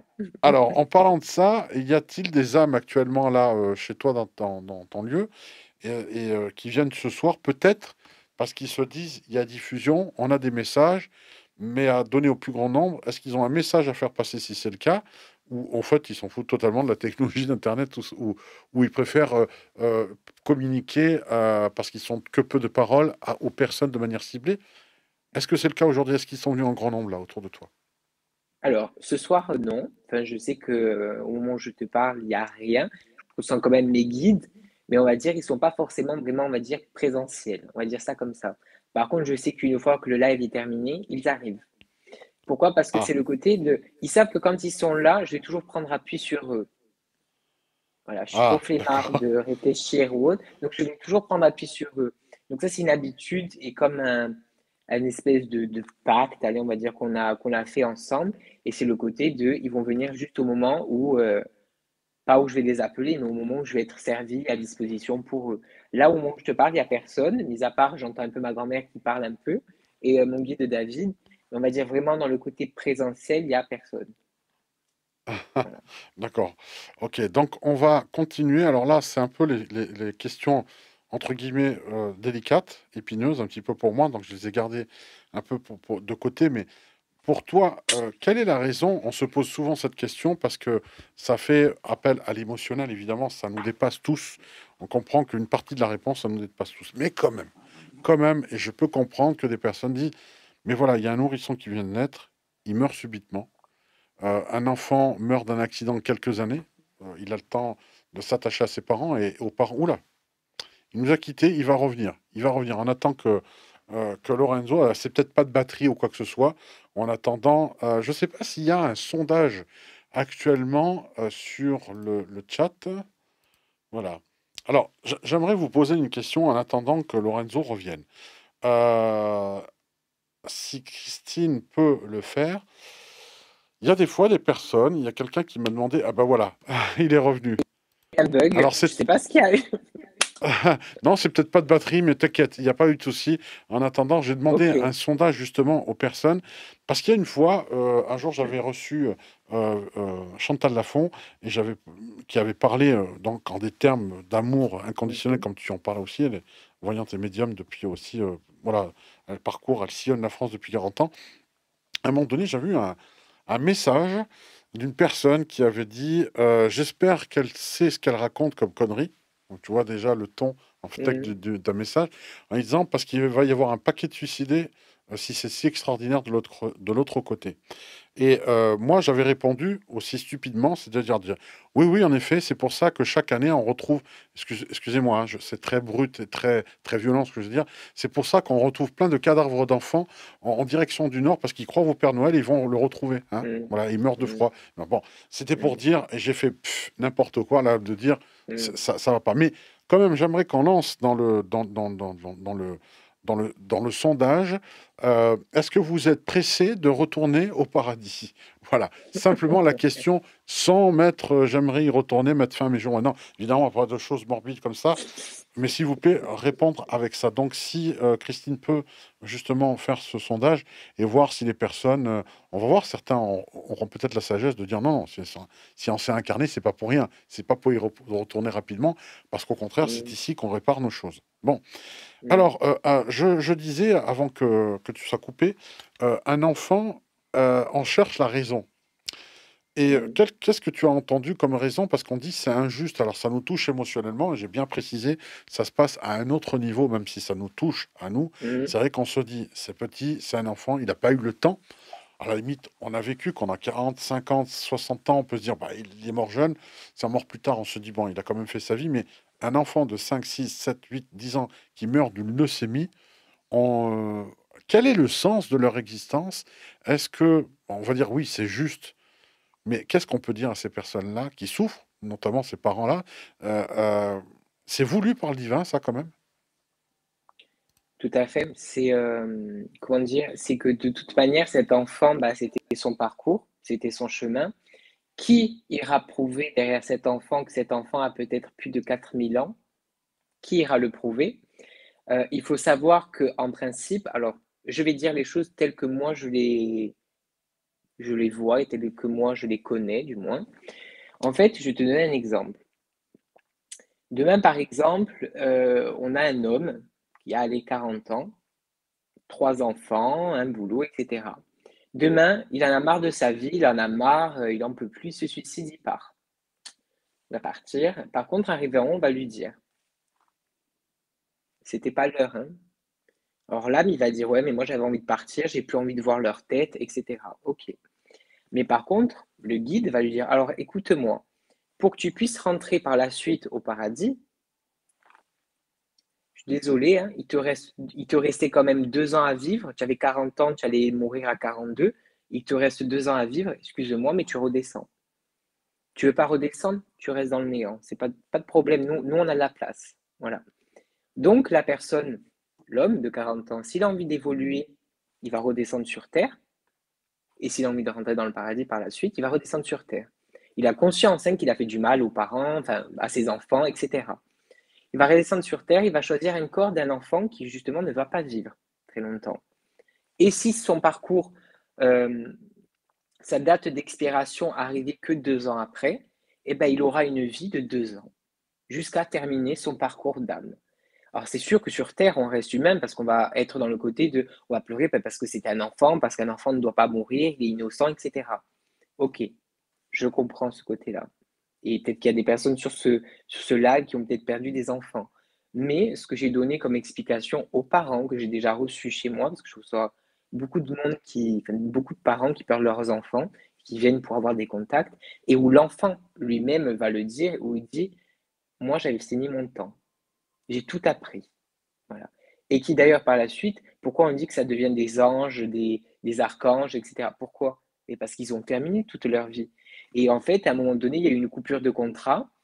Euh, quand ils étaient adultes, ils n'ont pas fini le temps qu'ils avaient programmé avec le guide. Bah, le guide va lui dire, tu as programmé, mais tu vas revenir pour finir ce que tu as programmé.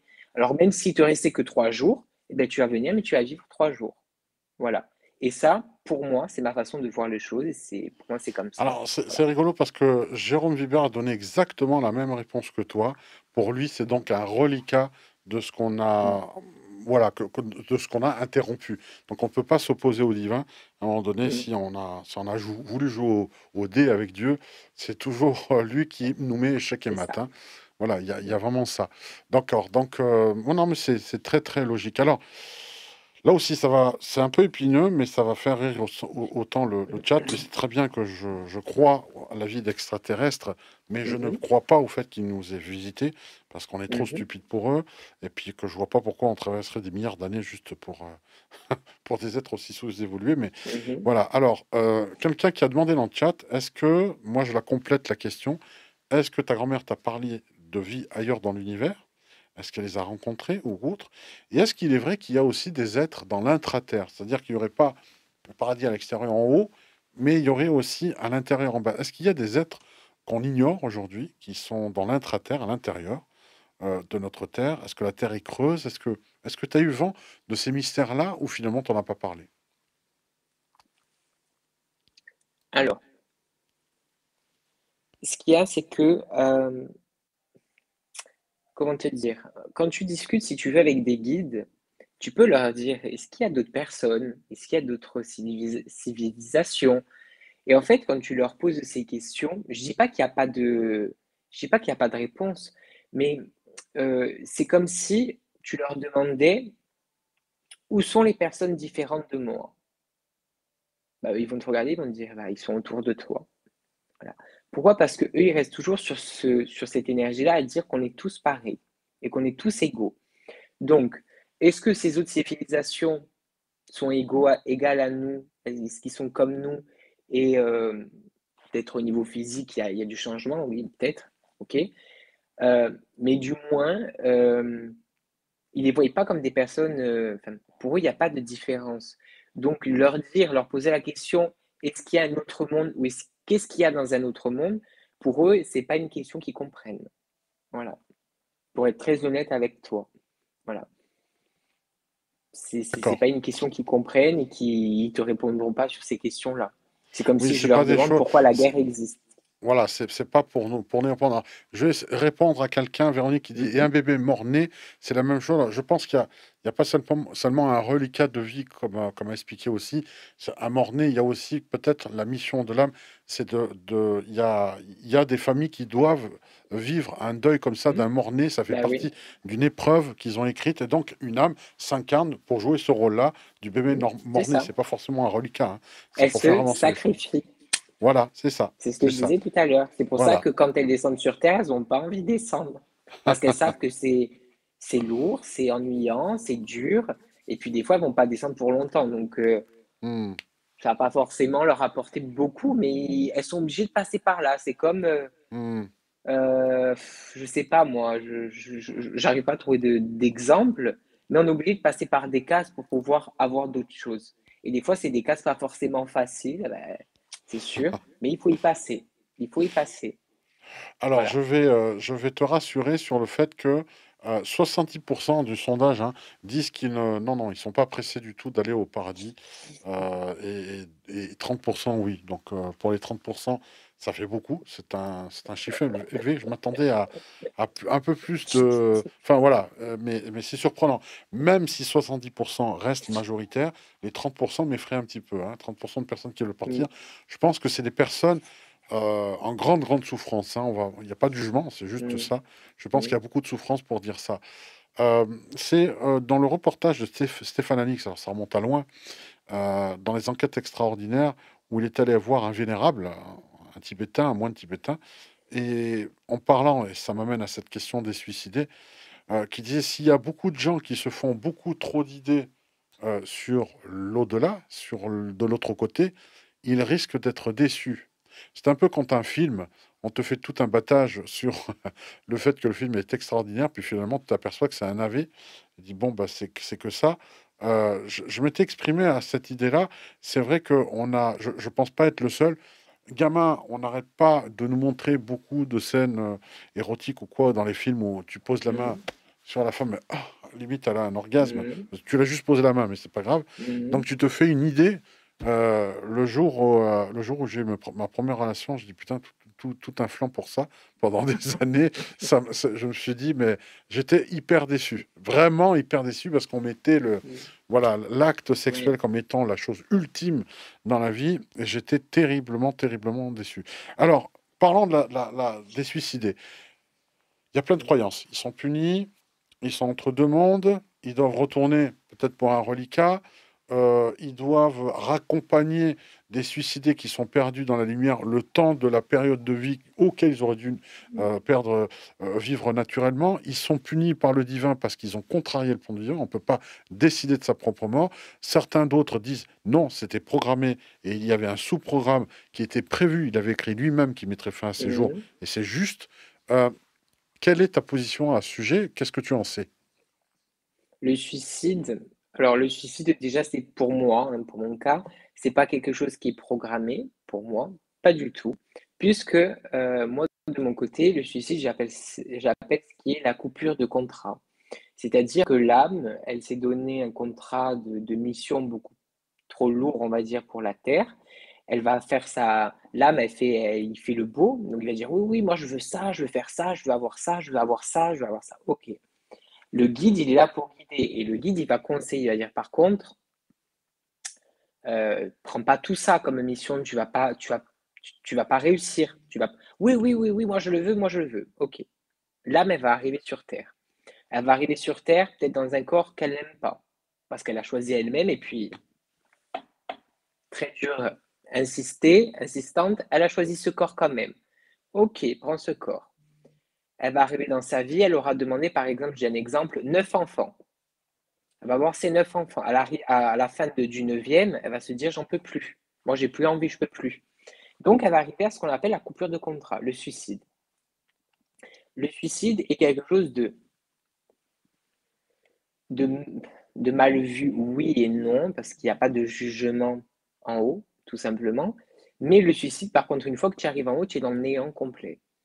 Et tant qu'on ne vient pas te chercher, parce que le suicide, alors je, te donne un exemple d'une dame que j'ai eu en consultation un jour, et qui, cette dame, peut-être qu'elle est dans le lac, j'en sais rien, elle a perdu sa mère.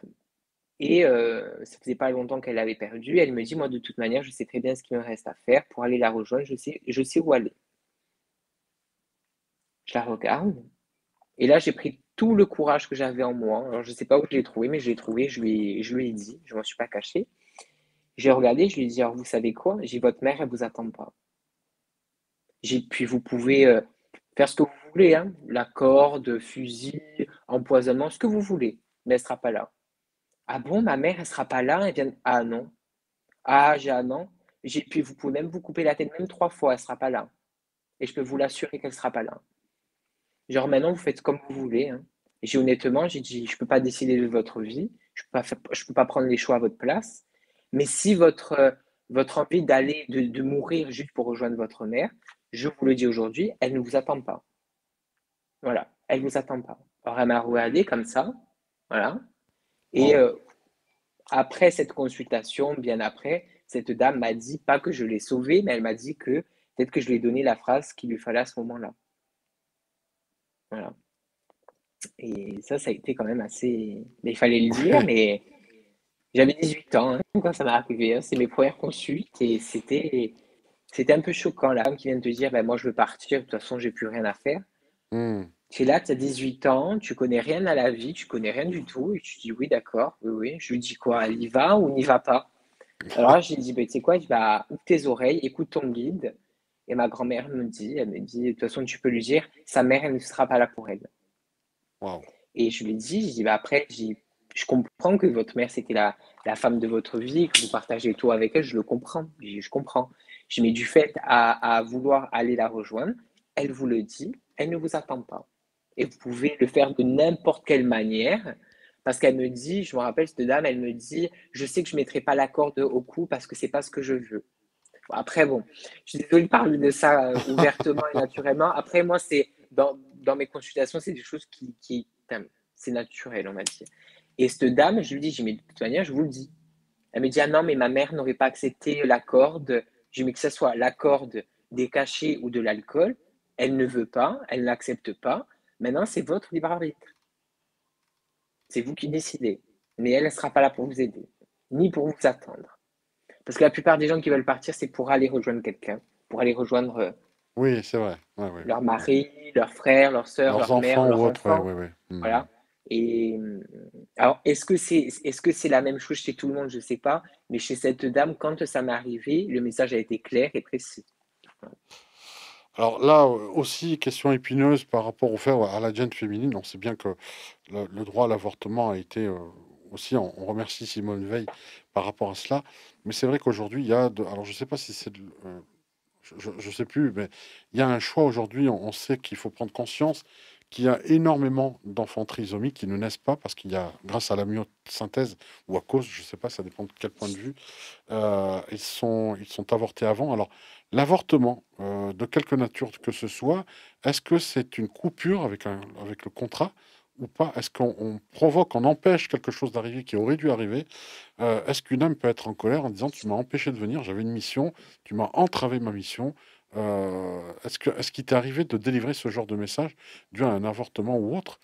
C'est délicat, hein, c'est très très délicat, j'en ai vraiment conscience. Mais voilà, c'est épineux. Donc déjà, euh, l'avortement, ou on va dire le fait, par exemple, de perdre le bébé, par exemple, tu es enceinte de deux mois, trois mois, tu perds le bébé, pour moi, ça reste dans une coupure de contrat. Pourquoi? Parce que l'âme est déjà consciente, le bébé est déjà conscient, enfin, le bébé, le bébé, l'âme est déjà consciente.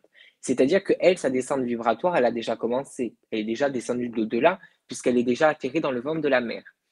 Par contre, à ce moment-là, dans le ventre de la mère, elle est encore avec le guide de l'âme. Donc, c'est-à-dire, elle va discuter avec le guide. Bien sûr, ne vous imaginez pas un embryon.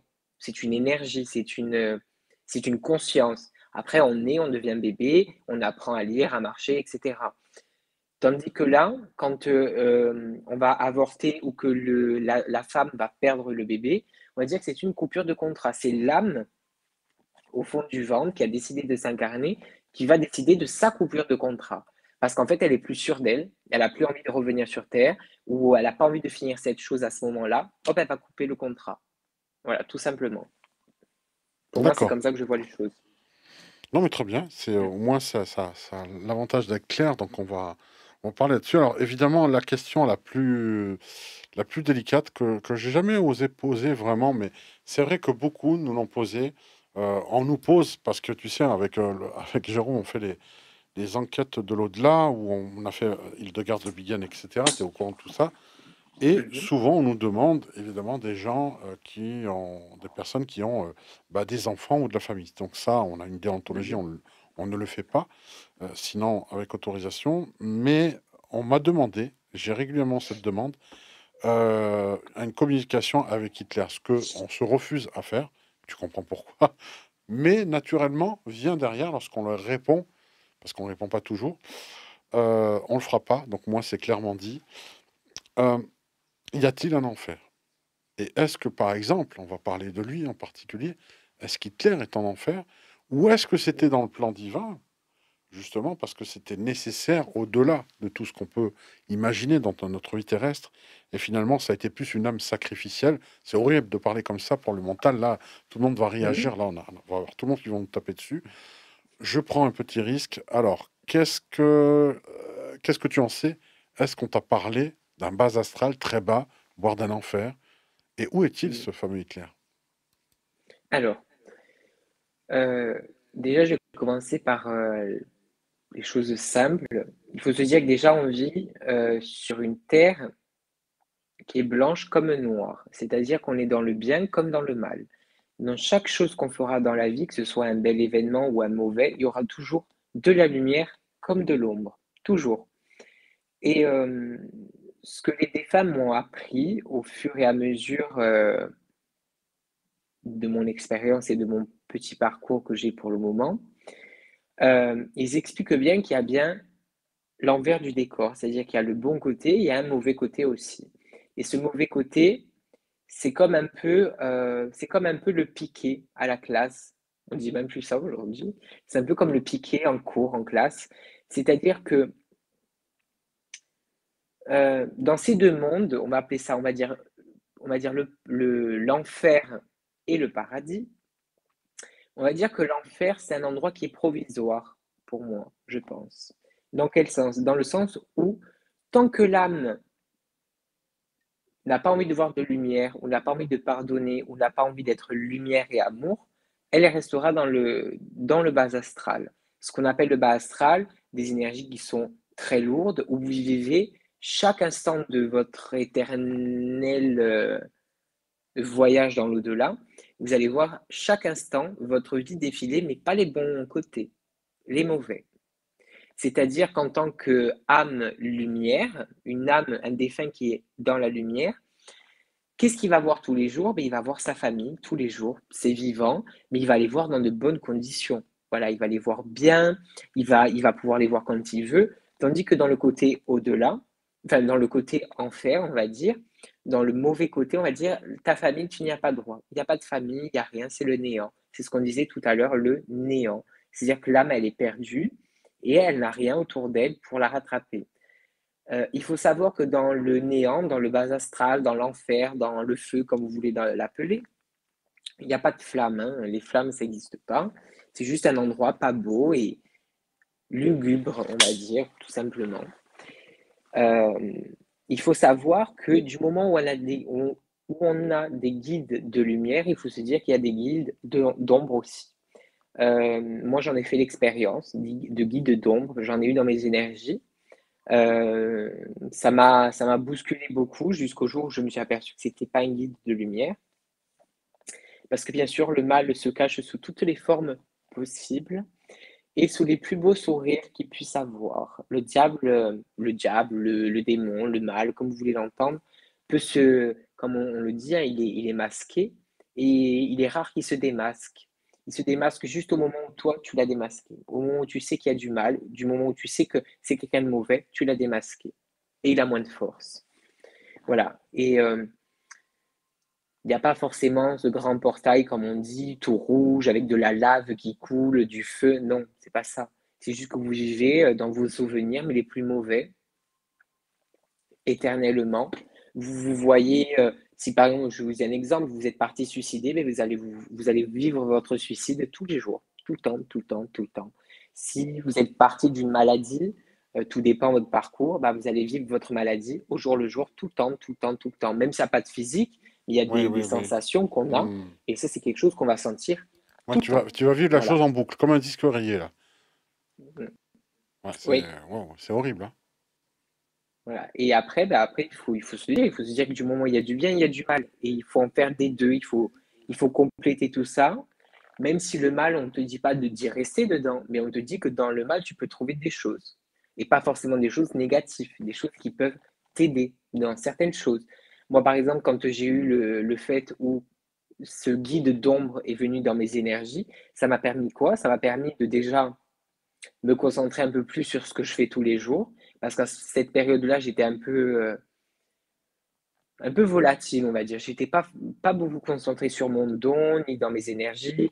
Je, ça faisait déjà un bon moment que j'avais plus, je m'étais plus nettoyé, je m'étais plus purifié je priais même plus. Enfin, c'était, même si c'était la prière, je prie pas non plus tous les jours, mais je veux dire, c'était un peu euh, loin de moi à cette période-là. Et on va dire que bah, lui, il a pris la place très facilement. Voilà. Et quand je m'en suis aperçu, c'est quand il commençait à parler de moi et qu'il parlait de mon physique. Un guide de lumière ne parlera jamais de ton physique. Voilà.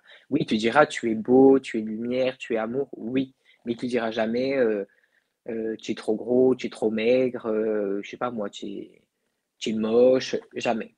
Et là, avec ce guide-là, c'était le cas. Voilà, il me parlait de comme ça. Voilà, donc euh, recevoir des messages comme ça de bon matin, tu n'as pas envie de te réveiller. Et donc, ça m'a fait prendre conscience et donc ça m'a servi à ce que ben, maintenant, chaque début de semaine, et eh ben, je fais mon petit nettoyage et je vérifie quand même dans mes énergies si ça va et qu'il n'y a pas non plus n'importe qui qui s'est incrusté. Quoi. Voilà. oui, c'est ta routine énergétique. On peut pas parler ça comme ça. ça. Comme tu prends ta douche, il y a ta douche énergétique. Bah, du moins, maintenant, je fais gaffe. on, te comprend. Maintenant, je me à carreau. Alors, restez avec nous. C'est pas encore fini. On va, on va encore parler. Il y a encore plein, plein, plein de questions. Euh, je vous invite vraiment à liker la page Facebook, la mienne, mais aussi celle de, euh, celle de, on va revoir après le groupe Facebook qu'a créé euh, Lorenzo, de vous abonner avec les petites cloches et puis surtout le pouce, le pouce. Alors, je vois là, en fait, c'est entre guillemets un petit peu décevant. On a fait un sondage. En fait, il y a quasiment 1500 personnes en ligne, là, en direct. Et quand on fait un sondage, il n'y a que quelques centaines de personnes. Donc, le compte n'y est pas. Et ce que je veux dire par là, c'est que si vous n'êtes pas abonné, vous ne pouvez pas ni participer au chat, ni euh, je ne peux pas faire apparaître vos, euh, voilà, vos, messages comme cela qui sont bien. Hein, de, de, voir, par exemple, quand je les affiche ici, ça fait vraiment un grand plaisir de pouvoir vous donner la parole comme ça euh, et de, voir, de pouvoir mettre en avant vos, vos expressions. et ça, vous ne pouvez le faire que si vous êtes abonné pour pouvoir écrire et aussi participer à nos sondages que l'on fait régulièrement, des fois pour, rigoler. Pour rigoler. C'est des sondages qui, qui, qui, qui, qui sont des, des secrets polichinelles pour personnes qui sont vraiment euh, juste pour déconner. Il y a aussi le fait, je vais vous montrer euh, aussi par la même occasion, j'insiste lourdement, mais c'est vrai que cette émission a été une très très belle émission. Je t'invite aussi à toi, euh, justement, je pense que tu vas retrouver beaucoup de choses dont tu nous parles ce soir avec qu'on a faite, c'était le 19, c'était une émission très très récente avec elle. On n'est pas, je suis pas là pour vous dire pour le livre, hein, ça n'a rien à voir, sachez-le, hein, il n'y a rien de commercial, c'est juste voir l'émission. Vous n'êtes pas obligé justement derrière de vous procurer le livre. Et, attendez, je suis tout tombé. Catastrophe. Une tempête est passée dans le studio, désolé. Et donc, euh, donc, cette émission est vraiment à voir et à revoir et surtout à partager. Je vous invite justement à la page Facebook de, euh, de, Lorenzo. Donc, je vais vous donner l'adresse. Elle est normalement dans le chat. Et vous avez ici, donc en bas, l'adresse. Notez-la. Elle est aussi dans la description. Vous pouvez vous y rendre. Et il faut savoir que Lorenzo est très actif dessus. Hein. C'est-à-dire qu'il fait régulièrement euh, des posts. C'est quelqu'un de très, bah, très Facebookien, hein, on va dire. Tu adores ça parce que c'est une relation directe que tu as avec ton, ton public. Et c'est vrai que tu aimes particulièrement ce mode de communication parce que c'est direct, euh, c'est immédiat et, tu aimes prendre comme ça la température de Des étoiles, je le rappelle encore une fois. Euh, ici, évidemment, on n'a pas pris toutes les questions de, de, du Facebook, mais il y en avait tellement, tellement, tellement. Euh, vous avez le des studios, et puis vous avez aussi le cercle de connaissances. Euh, je vous le dis, les secrets du grimoire, je vous le vends vraiment parce que avant la fin de l'année, il y a des choses à l'intérieur qu'il faut faire impérativement le 31, on vous l'a dit. Et on va continuer. Voilà, les liens sont dans la description si vous voulez justement aller voir euh, justement cette, cette formidable formation qu'on a proposée avec Jérôme. Et puis bientôt, je vous dis, d'ici l'année prochaine, avec Lorenzo, on fera euh, justement euh, euh, des masterclass qu'on vous proposera en ligne, en direct, pour développer vos capacités, mais on réfléchit à d'autres choses aussi, notamment sur d'autres programmes. Alors, dans la question que j'ai à te poser, il y a une personne qui demandait pour les fausses couches, ou moi je vais la doubler aussi avec Alzheimer. Est-ce que finalement, Alzheimer, il y a certaines personnes qui disent, en fait, elles ont perdu leur âme, c'est pour ça qu'elles n'ont pas de mémoire. Elles sont entre deux.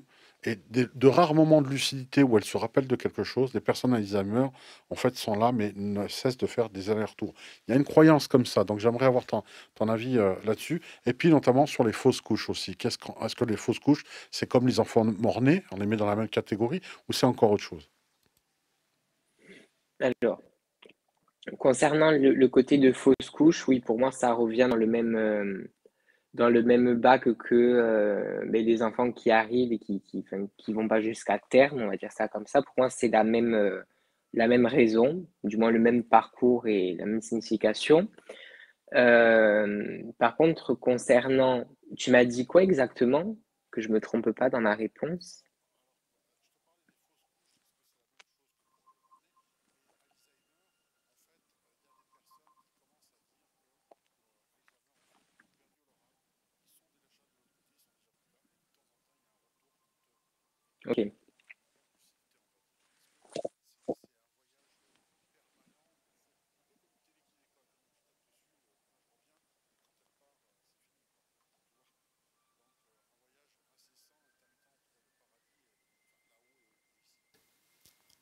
Ok. Euh, moi, je pense que cette maladie, l'Alzheimer, on va dire que je n'ai pas non plus exploité non plus toutes les, toutes les maladies, on va dire. Mais effectivement, de ce que j'aurais pu euh, ressentir, moi, du moins de ce que je peux penser de, cette maladie, je pense qu'il y a, euh, bon, y a le côté, on va dire, le côté physique, le côté mental, oui, t'es rien, ok. Mais je pense effectivement qu'il peut y avoir cette deuxième partie de d'invisible ou de vraiment euh, inconscient, de d'avoir une âme un peu, un peu dans le néant, parce que bon, c'est un c'est un peu comme ça qu'on peut les, les présenter, on va dire, c'est des gens qui, sont là sans être là, on va dire. Et pour mon cas, pour mon cas à moi, pour te donner un exemple, quand je suis en consultation et que je vais ressentir, par exemple, euh, je ne sais pas, une personne dans la famille de la consultante qui a l'Alzheimer, je vais avoir dans ma tête une sensation de néant. Et j'ai la sensation de silence, comme si j'étais parti, donc euh, décédé. Donc, c'est que pour moi, dans cette maladie, il peut avoir le côté terrestre, oui, bien sûr, parce qu'on est sur Terre, mais je pense que l'au-delà doit ou peut profiter, je ne sais pas comment le dire et pour le dire bien et sans, sans, sans faire mal, je pense que l'au-delà, les guides, etc., peuvent se servir peut-être d'intermédiaire avec cette personne pour peut-être faire passer certaines choses, simplement. Voilà. Euh, par contre, par contre, je pense que le, côté Alzheimer, c'est quelque chose qui a été demandé au niveau, euh, quand on descend avec son guide, c'est nous qu'on demande d'avoir ou de connaître cette maladie-là. Voilà. Donc, je pense qu'il peut avoir un côté vraiment maladie médicale terrestre et il y a un petit côté qui doit être quand même spirituel ou de moins on doit pouvoir faire quelque chose. Voilà. Très bien. Après, j'ai pas non plus creusé énormément. Donc là, je pense que vous m'entendez. Est-ce que vous m'entendez tous là Vous me dites? Parce que je, crois que j'ai oublié de démuter, c'est pour éviter que vous entendiez le stylo gratter sur le, papier, etc. Donc je pense que c'est bon, tout le monde disait, voilà, on n'entend pas, etc. Donc je pense que vous m'entendez maintenant. Euh, deux questions. Euh, alors l'une, euh, qui, sont, qui, sont, qui sont un peu liés pour moi. Est-ce que, est que, voilà, je suis un, un papa qui a perdu un enfant très jeune. cet enfant devait avoir peut-être 2-3 ans. Je décède, on va dire, 30 ans plus tard. Est-ce que 30 ans plus tard, en retournant de l'autre côté, je retrouve mon fils qui a 30 ans? Donc il a grandi de l'autre côté, de, des un an ou deux ans qu'il avait sur Terre lorsqu'il est décédé. Je fais connaissance avec lui de son âme à 30 ans. Donc un, jeune adulte, un jeune homme. C'est le cas ou pas déjà? Après, je verrai l'autre question. Alors, euh, c'est possible. On va dire que c'est bien possible de, le retrouver euh, par la suite. Mais il faut savoir encore une fois que l'au-delà, on, ne compte pas de temps. Le temps n'existe pas. Donc, c'est-à-dire que le père, il va décéder par exemple à 30 ans. Je donne un exemple, le père décède à 30 ans, il monte dans l'au-delà, il retrouve son fils. Il va le retrouver, mais si entre-temps son fils s'est réincarné, bah, le père devra attendre simplement, pas attendre. Entre parenthèses, puisqu'en haut, ils n'attendent pas forcément. Il sera là en train de patienter que son fils revienne de ses vies sur Terre pour le retrouver dans, dans une autre vie. Et ils vont peut-être se reformer ensemble dans d'autres vies ensemble. Voilà. Donc oui, ils se retrouvent, euh, bien sûr. C'est relié toujours, c'est les mêmes énergies. Puis, je veux dire, oui, tu le retrouves, bien sûr. Après, il peut avoir changé, il peut avoir évolué. Mais dans tous les cas, si lui, entre-temps, est revenu sur Terre ou autre, bah, tu attends ton temps, mais oui, tu le retrouves, bien sûr. Mmh. Alors, une autre question qui est plus euh, l'ordre du vécu. Alors, c'est une question qui a été posée sur le chat, mais qui m'a ravivé un souvenir. J'ai un cousin qui a perdu sa mère, donc on était en train de veiller le corps, etc. Euh, et à l'hôpital, lorsqu'elle est décédée, il m'a relaté une, vraiment une histoire assez troublante. Hein. Moi, ça m'a vraiment, euh, ça m'a dérangé, je t'avoue. Et encore aujourd'hui, j'ai pas la réponse, donc ça tombe bien ça corrobore en plus avec la question, ça va répondre à la question de la personne qui clairement pose cette question telle qu'elle, je la cite, est-ce qu'en fin de vie, euh, pour une personne âgée, euh, peut-elle avoir une médiumnité? Euh, juste passagère, j'ajoute passagère, histoire de lui donner, de dire, bon, allez, on te fait ce cadeau, de toute façon, dans quelques jours, quelques heures, tu seras plus là, donc on va te donner cette capacité-là, ou parce qu'elle est entre les deux, etc. Alors, je reviens à cette histoire-là, pour relater personnel de ce cousin. Euh, elle était à l'hôpital, le pronostic était lancé, les médecins ont dit on ne veut plus rien pour elle. On, avait ouvert plein de fois, on avait opéré, c'était plus possible de la sauver. Elle s'était endormie et puis discutait autour de la chambre en soins palliatifs. Donc ils savaient qu'ils étaient là pour attendre que voilà le fameux tracé plat, tu sais. Et euh, d'un coup, elle s'est réveillée comme ça et elle dit quoi? Je suis encore là? Tac, elle s'est, elle s'est rendormie à nouveau. C'est assez curieux. J'ai jamais eu la réponse à ce qui s'est passé, mais c'est marrant parce que c'était comme si elle était allée de l'autre côté. On lui a permis de faire ce sursaut-là, comme pour dire un au revoir très rapide, et elle est repartie. Alors, cette histoire de médiumnité passagère, je t'ai vu sourire, donc il y a déjà, je pense, une partie de oui. Est-ce que c'est vrai? C'est une grâce qui est donnée? Non, c'est pas une grâce. Non, c'est pas une grâce. C'est simplement que euh, l'âme commence à sortir, il faut le savoir, l'âme commence à sortir du corps éthérique, du corps physique, elle commence à sortir à peu près, à peu près deux semaines avant que la personne même parte, décède. Donc, c'est-à-dire qu'à ce moment-là, son âme est déjà consciente qu'il y a des choses qui changent. Et elle va voir à elle, ou en elle, des, capacités, les vraies capacités que les humains, que tous les humains devraient ou pourraient avoir, elle les a à ce moment-là et elle peut tout avoir. Elle peut avoir la médiumnité, elle peut avoir l'ouïe, elle peut avoir l'odorat, le, elle peut avoir le toucher, elle peut tout avoir. Pourquoi? Parce que justement, sa conscience a pris conscience d'autres consciences. Je ne sais pas comment l'expliquer, mais c'est un peu comme ça. Donc, à ce moment-là, par exemple, l'ego, bah, il n'existe plus en toi. Donc, on rajoute autre chose. On rajoute la médiumnité, par exemple. Et c'est pour ça que les personnes qui, sont prêtes à décéder, qui sont prêtes à partir, voient, entendent ou peuvent voir ou toucher même les personnes qu'ils qui, ont perdues auparavant. Pourquoi? Parce que tout simplement, leur conscient n'est plus le même conscient qu'ils avaient en étant humains, tout simplement. Ils sont dans l'inconscient. Donc tout est... C'est comme si l'au-delà était déjà avec eux, en gros. Oui, oui donc ils, ont, ils sont touchés par cette grâce, euh, par cette divinité-là. Euh, on va parler juste rapidement euh, est-ce que ta grand-mère, par exemple, est-ce que ta grand-mère... Ah, je t'entends plus. Qu'est-ce que tu as fait Tu m'entends? Voilà, là, je t'entends. C'est très bien. Même avec mes écouteurs. Oh, ah non, non, mais c'est pas grave, on t'entend avec le, le micro. Touche. Ah ouais, vas-y. Oui, oui, oui, oui. Oui. Tu m'entends ah Ouais, je t'entends, je t'entends, oui. Mais moi, je t'entends pas. Ah Alors, tu sais ce que tu dois faire? Tu désactives le, le Bluetooth pour retrouver le parleur Je pense que ça va fonctionner. Non. Non? Tu as désactivé le Bluetooth? Ah, il faut désactiver le Bluetooth. Alors, attends. Je vais mettre ça. Alors, attends. Je Voilà. Il va revenir. oui, tu m'entends là? Je Alors, attends. pas. Alors, désactive ton Bluetooth. Je crois que j'ai eu un, petit souci. Désactive ton Bluetooth. Ça va être un peu compliqué là. Hein. Ouais, désactive ton Bluetooth. Le son ne veut pas revenir. Donc je ne sais pas pourquoi. en plus, j'ai 1% de batterie. oh là là Tu me vois? Oui, je te vois. Je te vois. Alors moi, je te vois, mais je me vois pas et je t'entends pas. Alors, alors. Je sais pas comment.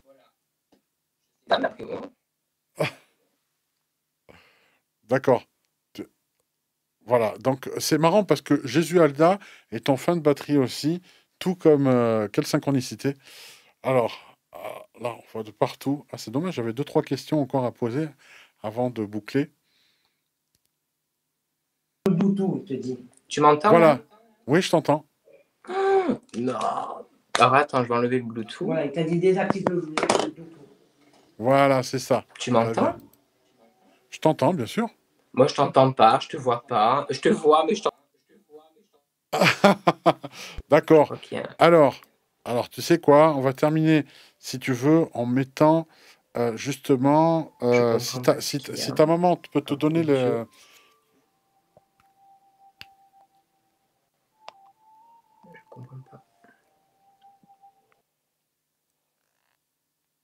Tu m'entends? Je t'entends, oui, je t'entends. Moi, je t'entends pas. D'accord, ok. Bon, de toute façon, c'est que certainement il y a. Oui. comment je vais. À la limite, tu pars et tu reviens. Hein. Je ferme et je reviens? Voilà, oui, oui, oui. Ok. Voilà. Donc, juste, bah, je, je, peux que vous inviter à vous abonner à la chaîne. Vous savez, je ne vais pas vous répéter, répéter euh, sans cesse. Euh, vous le savez déjà parce que sinon, vous ne pouvez pas participer au chat. Et c'est bien dommage. On, voudrait vraiment voir beaucoup, beaucoup plus de monde euh, sur le chat participer. On se fait un plaisir vraiment par rapport à ça. Donc, merci pour vos abonnements déjà. Un grand, grand merci. Vraiment un grand, grand merci pour vos pouces aussi. Et puis, pour pouvoir respecter cette soirée, je, voilà, on a, on a vraiment des personnes bienveillantes. Alors, là, il essaie de revenir, on va voir. C'est bon. C'est bon? Moi, je t'entends. Voilà, et moi, je t'entends aussi. Ok. Ah bah super. Bah écoute, on va pouvoir finaliser. J'avais quelques questions à te poser. Alors, euh, ta grand-mère, est-ce qu'elle a des endroits où elle aime se rendre sur Terre? Même si sur le paradis, elle vit quelque chose d'extraordinaire, mais est-ce qu'elle te dit, écoute, il y a un endroit que je chéris, en particulier que j'ai connu de mon vivant, ou que j'ai découvert une fois de l'autre côté, que je viens, ou finalement le paradis lui suffit aujourd'hui pour pour qu'elle n'ait plus vraiment envie de redescendre? Euh, je te parle au niveau de son âme. Hein. Est-ce qu'elle voit Est-ce qu'elle voit les fleurs? Est-ce est-ce qu'il y a des choses qui sont encore valables à ses yeux suffisamment pour dire la terre est belle quand même? Il y a des beaux endroits. Alors, il n'y a pas forcément d'endroit euh, précis, on va dire, pas un seul et même endroit, mais par contre, ce qu'elle me dit, et je l'entends souvent chez les défunts le dire souvent, ils sont souvent, et moi, ma grand-mère, du moins, elle est souvent ou toujours, on va dire, au bord de l'eau et au bord des. avec des fleurs. Voilà, elle parle de fleurs, d'eau, et mhm. la plupart du temps, elle marche au bord de l'eau, ma grand-mère. Mais elle n'a pas forcément d'endroit précis où elle, où elle aimerait aller ou autre après, ma grand-mère, c'est quelqu'un qui aimait tout. Donc, euh, je pense qu'à aujourd'hui, c'est encore pareil. Elle aime tout. Il n'y a pas forcément un endroit même où, euh, où elle irait, ou où, elle aimerait aller, on va dire. D'accord, ok. Est-ce que tu peux retourner dans les paramètres, tu sais, la petite roue crantée, pour mhm. remettre la qualité à 720, elle était à 480. Si tu peux l'augmenter à nouveau. euh, parce qu'on te voit un tout petit peu pixelisé. C'est pas bien grave si ça reste comme ça, hein, Lorenzo. hein. C'est juste ah, pour. euh, Tu es tellement beau qu'on vient te- on veut te voir net. Tant qu'à faire. Là, Oui. c'est 720, ils disent. Voilà, c'est bon. 720, je pense que là, on devrait mieux te voir dans une meilleure définition. Bon, on va voir. Ça va peut-être, c'est le flux. Hein. On va voir. T'as mis, t'as mis, la, mis la prise? Oui. C'est 1%. Bah, Jésus Alda aurait dû faire pareil. Hein. Voilà.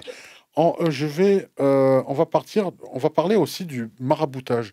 Toutes ces histoires-là, est-ce que de l'autre, de côté, une fois qu'on passe de l'autre côté, puisque c'est quand même le thème de la soirée, on nous reproche en disant voilà, tu as fait des choses pour influencer, pour contrarier le plan divin que tu t'étais donné. Il y avait un programme. Cet homme devait être avec telle femme ou telle femme devait être avec tellement rest- rester en, couple, et tu es intervenu par rapport à la magie noire ou autre euh, pour changer les plans et te l'accaparer.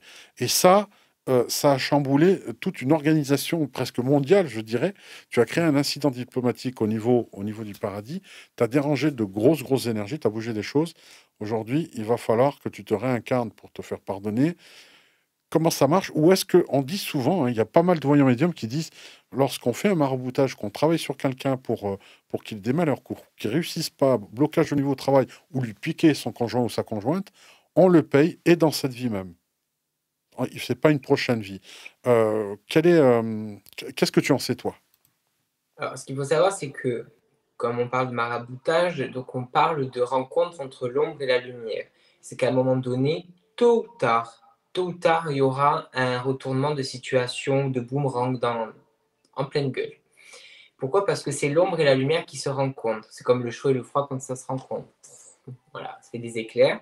Voilà, ça ne fait pas forcément des éclairs, mais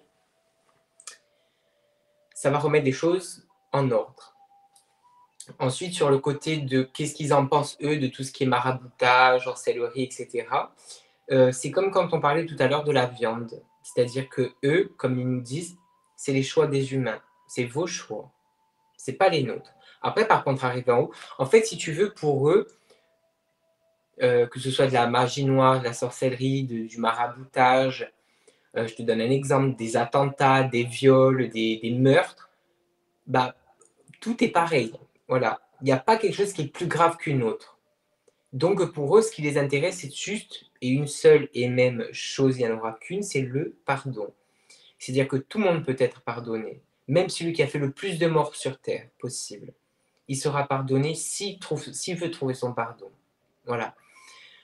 Et euh, donc vraiment, de qu'est-ce qu'ils en pensent de tout ça? Bah, Tout simplement que c'est nos choix, euh, c'est notre libre arbitre, c'est ce qu'on nous apprend le plus et le plus tôt sur Terre, nos choix, nos, opinions, nos avis, notre libre arbitre simplement. Ça, ça les intéresse et de voir euh, qui va aller, qui ne va pas aller. Après, les règlements de compte se font en haut. Ça, c'est une autre chose. Voilà. On va dire ça comme ça.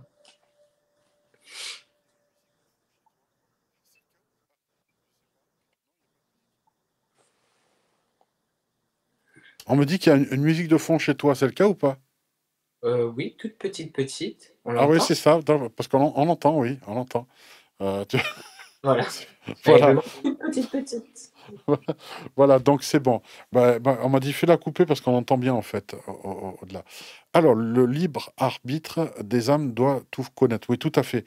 Alors, maintenant, euh, peut-être pour conclure cette émission, euh, on, peut vous encourager vraiment à vous abonner. Juste, je vous dis, 80% des personnes qui regardent les chaînes YouTube aujourd'hui, c'est un fléau hein, pour, les créateurs de chaînes, c'est juste une catastrophe vraiment. Euh, je vous le dis sincèrement, hein, euh, ne sont pas abonnés aux chaînes. Je ne sais pas pourquoi, c'est peut-être l'air du temps qui est comme ça, mais ça aide vraiment pas les créateurs. Donc voilà, on, vous demande instamment de, vous, vraiment vous abonner, si vous le souhaitez évidemment, et surtout de mettre un pouce en haut, c'est très important. Est-ce que ta grand-mère, par exemple, t'a parlé ou toi tu lui as demandé confirmation? Est-ce que quelquefois, lorsqu'il y a une prédiction, alors on va parler d'une prédiction un peu précise, celle de la fin du Covid, parce que toute chose a une fin, bonne comme mauvaise. Donc cette crise sanitaire aura aussi une fin et certainement heureuse, j'imagine, même si au départ, voilà, il y a- comme on dit, on ne fait pas d'omelette sans casser des œufs. Mais finalement, tu as ton ressenti. Je te dem- demanderai donc de paraphraser ce que tu as déjà dit dans les autres émissions pour rassurer tout le monde, parce que c'est une véritable question. Comment tu vois cette fin, cette transition déjà de Covid et pour quand? Et lorsque tu as ce genre de ressenti-là, est-ce que quelquefois tu demandes à ta grand-mère une double vision en disant est-ce que tu es OK avec ça? Je suis pas certain de ça, j'ai un petit doute et tout. euh, euh, Ouais. un peu comme un médecin qui demanderait un double diagnostic à un collègue. Déjà, ce qu'il faut savoir, je ne reviens jamais sur une prédiction que je donne à quelqu'un. Jamais. Ce qui est dit est dit. Alors, euh, des fois, comme je, des fois, je le dis aux gens, je vais écouter. je dis, Au pire, c'est moi qui est ridicule. Hein. Dis, C'est peut-être moi qui me trompe, je m'en fous. hein. Je dis, mais je ne changerai pas ma façon de voir. Et euh, concernant ce que tu m'as demandé par rapport à ma, ma grand-mère, ce que je lui demande de bien me confirmer, jamais, jamais. Au niveau prédiction, je dis, hein, voilà, niveau prédiction, je n'ai jamais demandé une deuxième confirmation, jamais au grand jamais. Pourquoi? Parce que pour moi, je pense qu'ils sont suffisamment assez hauts pour voir les choses. Maintenant, si les choses ne se passent pas comme il le dit, c'est parce que nous avons pris des choix différents, tout simplement. Et par rapport à cette situation, comme je l'ai annoncé dans mes prédictions euh, mondiales, donc euh, 2021, je dis que pour moi, le Covid allait con- continuer encore et encore. Pour moi, nous aurons les masques au niveau visage jusqu'en mai 2022. Voilà. Et qui, pour moi, fin, 2000, fin 2022, on arrive sur la fin de ce Covid. Par la suite, il y aura des conséquences, de très, très grosses conséquences qui seront là. Même si jusqu'à aujourd'hui, les gens se sont beaucoup inquiétés sur le côté maladie, santé, le côté vraiment Covid. À aujourd'hui, euh, comme je l'ai déjà prédit, et ça se confirme au fur et à mesure que les gens aujourd'hui parlent plus d'autres choses, parlent plus d'argent, de comment faire plus de business, de comment faire plus d'argent, etc., que le côté de comment on peut soigner cette maladie ou ce virus. Pour moi, aujourd'hui, le virus, on n'en parle même plus. On parle plus de ce qui a fait, ce que le virus a fait comme conséquence. Je ne parle pas de mort, excusez-moi. Je parle des boutiques qui ont été fermées. Je parle du taux des suicidés qui sont partis à cause, euh, parce qu'ils étaient plus heureux dans leur boulot, à cause du Covid, etc., etc. Et pour moi, toutes ces conséquences-là, elles commencent à peine à arriver. À peine à arriver. Voilà. Euh, je ne vais pas m'étaler beaucoup sur ce que je dis ce soir. Voilà, comme, comme tu as dit, Didier, je, je répète un peu ce que j'ai dit déjà. Parce qu'il y aura bientôt mes prédictions de 2022 qui, et que j'espère faire au plus vite. Donc, j'ai n'ai pas envie de trop manger sur ce Oui, côté-là. oui, je comprends, je comprends. Et dans tous les cas, euh, pour moi, à la sortie de ce Covid, il y a bien d'autres choses qui nous rattraperont et qui seront beaucoup plus graves, Oui, si, on, si oui. on veut dire grave, que le Covid et que euh, le, Le Covid, tu, tu disais, le Covid ressemblerait juste à une petite égratignure à côté de ce qui Oui. nous attend après. Exactement. C'est, Pour moi, t'as toujours maintenu. ouais. Pour moi, c'est qu'un exemple. Et le Covid, pour moi, ça a été simplement une virgule qu'on a voulu mettre pour remettre un peu tout le monde à la même hauteur. Et aujourd'hui, on le voit hein, de nos yeux, de nos oreilles, on entend que les gens ne sont toujours pas à la même hauteur et les gens continuent encore à se vanter, à, à ne penser qu'à eux, à ne mettre qu'eux en avant, ou etc., etc., etc. Et la Terre, pour moi, elle n'a pas fini de parler parce que jusqu'à maintenant, on parle de, on parle d'ange, on parle de guide, on parle de Dieu, mais on n'a pas forcément beaucoup parlé de la Terre. Et pour moi, la Terre, elle est en train de parler et, elle risque de, de faire peur à pas mal de monde, pour moi, et même à des scientifiques. Ouais, ouais. le- ouais, ouais, comme, comme dit Lucette, euh, le fric, le fric, le fric, en mettant un pff derrière, parce que ça la gave aussi. Oui, je crois que finalement, tant qu'il y aura de l'argent, il y aura de la cupidité. Voilà. C'est pour ça que je suis trekiste aussi. hein. J'adore Star Trek par rapport à ça. Il faut que tu saches que dans, dans l'univers Star Trek, il n'y a pas d'argent.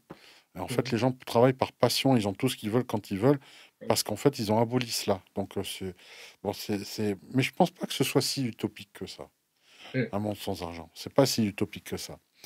Euh, donc, pour, pour finir, paraphraser ça, est-ce que ta grand-mère, justement, t'en a parlé elle aussi de son point de vue? Parce que c'était aussi de comparer, au, au fait de consolider ce que tu disais. Est-ce que tu as demandé son avis ou est-ce qu'elle te l'a donné ou quoi en te disant qu'est-ce que c'est que cette fanfaronnade ou quoi que ce soit? Est-ce qu'elle t'a donné son, son assentiment à ce sujet? Bon, je rigole un peu parce que elle en a rigolé à un moment donné sur quelque chose que je lui en avais parlé et qu'elle m'avait dit que si elle, elle aurait été là, bah, elle n'aurait pas, euh, elle pas tenu longtemps. Voilà ce qu'elle m'a dit, ma grand-mère.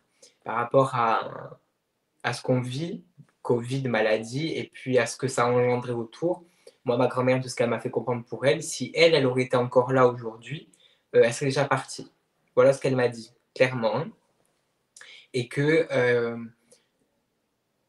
le Covid, ça nous a servi de pause, où tout le monde a pu se mettre en pause. Et comme elle m'expliquait, si personne ne s'est servi de cette pause pour pouvoir se recentrer ou pouvoir arranger des choses, les 3-4 années qui arrivent après le Covid, c'est là où ces gens vont payer, c'est pas le bon mot, mais où, ils vont vivre cette situation différemment que ceux qui ont connu que le côté maladie du Covid, par exemple. Et ta question en elle-même, c'était quoi exactement? Je pas, Non, non, non, c'est juste en fait, si, oui, bah, tu as répondu en fait, c'était le ressenti de ta grand-mère concernant cette crise euh, sanitaire.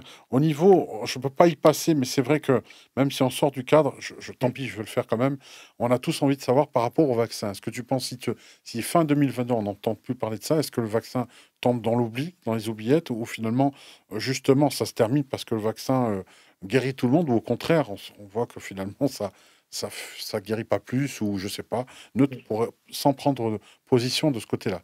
Euh, qu'en est-il au niveau du vaccin? Est-ce que tu peux nous en parler? Alors moi, par rapport, euh, par rapport à ce vaccin, pour être euh, honnête et pour être précis, transparent avec tout le monde, moi, c'est quelque chose que je ne sens pas. Voilà. alors, je ne vais pas parler des vaccins différents parce que je ne connais pas tous les noms voilà, des, des vaccins. Ce que je sais, c'est que certains, c'est du pipi de chat, c'est-à-dire que tu t'infuses du pipi de chat dans, dans le sang, c'est pareil pour moi au niveau ressenti. Et par contre, d'autres vaccins qui à présent aujourd'hui, pour moi, créeront de très gros problèmes par la suite. Et ça, je l'avais déjà dit. Euh, c'est des problèmes qu'on ne verra pas maintenant. Hein. On les verra. Oui, mais qui, qui, viendront comme une bombe à retardement, ah. quoi, pour toi. Ah, et c'est des, c'est des problèmes qui poseront des problèmes aux gens hmm. plus tard. Je donne des exemples, si je peux. Mhm. Euh, ça va peut-être stopper le côté de reproduction chez la mmh. femme, par mmh. exemple. Chez l'homme, ça va peut-être euh, enlever des choses aussi au niveau reproduction, par exemple. Moi, c'est la reproduction hein, qui est le plus touchée pour moi. Hein. Parce que plus on avance dans le monde, et plus on avance dans le monde, plus on est nombreux, et au plus les femmes ne peuvent plus avoir d'enfants, et les hommes, c'est pareil. Oui, c'est vrai, moins de fertilité. Et pour moi, pour pas parler que de ça. Pour moi, le Covid, le vaccin, un certain vaccin, aura des conséquences sur ça. Alors maintenant, il y en a beaucoup qui vont peut-être s'inquiéter, qui vont dire Ouais, mais moi je l'ai fait. Je Écoutez, de toute manière, c'était votre choix. C'était. Hmm. Voilà. Oui, oui, on précise qu'on n'est pas anti-vax ou pro-vax. Hein, c'est pas du tout ça. Hein. On donne une position purement éthérique. Hein. Hmm. Voilà, mais pour moi, euh, le vaccin n'a rien de positif dans le côté de guérison de cette euh, épidémie pas du tout. Euh, je pense qu'avec le nombre des chercheurs qu'on a aujourd'hui, l'argent qu'on met dans la science, dans, dans tout ça, hein, rien que dans la santé, excusez-moi, hein, c'est mon avis, vous m'excusez tout ce qui revers ce soir, mais pour moi, le vaccin, s'il y en aurait eu un, il aurait été trouvé depuis longtemps, pour moi. Et pour moi, celui-là n'est pas efficace et n'est pas positif. Voilà, tout simplement. Donc voilà, il, voilà, il y, a, un choix de certains vaccins. Bon, tu ne vas pas préciser lequel, c'est pas ton rôle, on comprend bien, hein, voilà. Mais euh, c'est pour ça que chacun doit choisir son vaccin veulent, pour ceux qui veulent se faire vacciner. Et euh, voilà, il n'y a pas de pour, de, pas de contre, on ne juge pas. Hein, voilà, il y a, y a des vaccino-sceptiques, il y a des pro-vaccins, et ça, c'est à chacun de voir. Moi, je peux comprendre que quelqu'un soit complètement paniqué et peur, et c'est le cas de certaines personnes proches que je connais qui, euh, par peur, ont dit moi, je me vaccine parce que ils se sentent en sécurité. Voilà, voilà, ils se disent au moins, je suis blindé. Et euh, voilà, là-dessus, j'avais une position bien plus tranchée avant, mais j'ai changé de ce côté-là. Euh, pas de jugement. Voilà. Mmh. Donc, euh, tu as donné ton ressenti. Je te remercie pour ton honnêteté vraiment par rapport à ça, parce que c'est pas facile d'en parler, parce qu'on est tout de suite euh, euh, muselé. J'espère juste que YouTube ne pas nous censurer par rapport à ça. On a juste émis une succession, une idée par rapport à, cela, et j'espère qu'ils vont respecter cela. En tout cas, merci à toi pour, pour ta participation, Lorenzo. Je vous rappelle que il faut être abonné si vous voulez participer au prochain chat, au prochain euh, sondage que l'on organise régulièrement et peut pouvoir afficher ici, par exemple, régulièrement, comme je le fais pour Maria Lucas, par exemple, bien d'accord, Lorenzo, etc. Eh bien, euh, ça rend le côté plus vivant, beaucoup plus participatif. Et on adore ça au des studios, cette nouvelle façon de faire. C'est juste ça qu'on aime vraiment.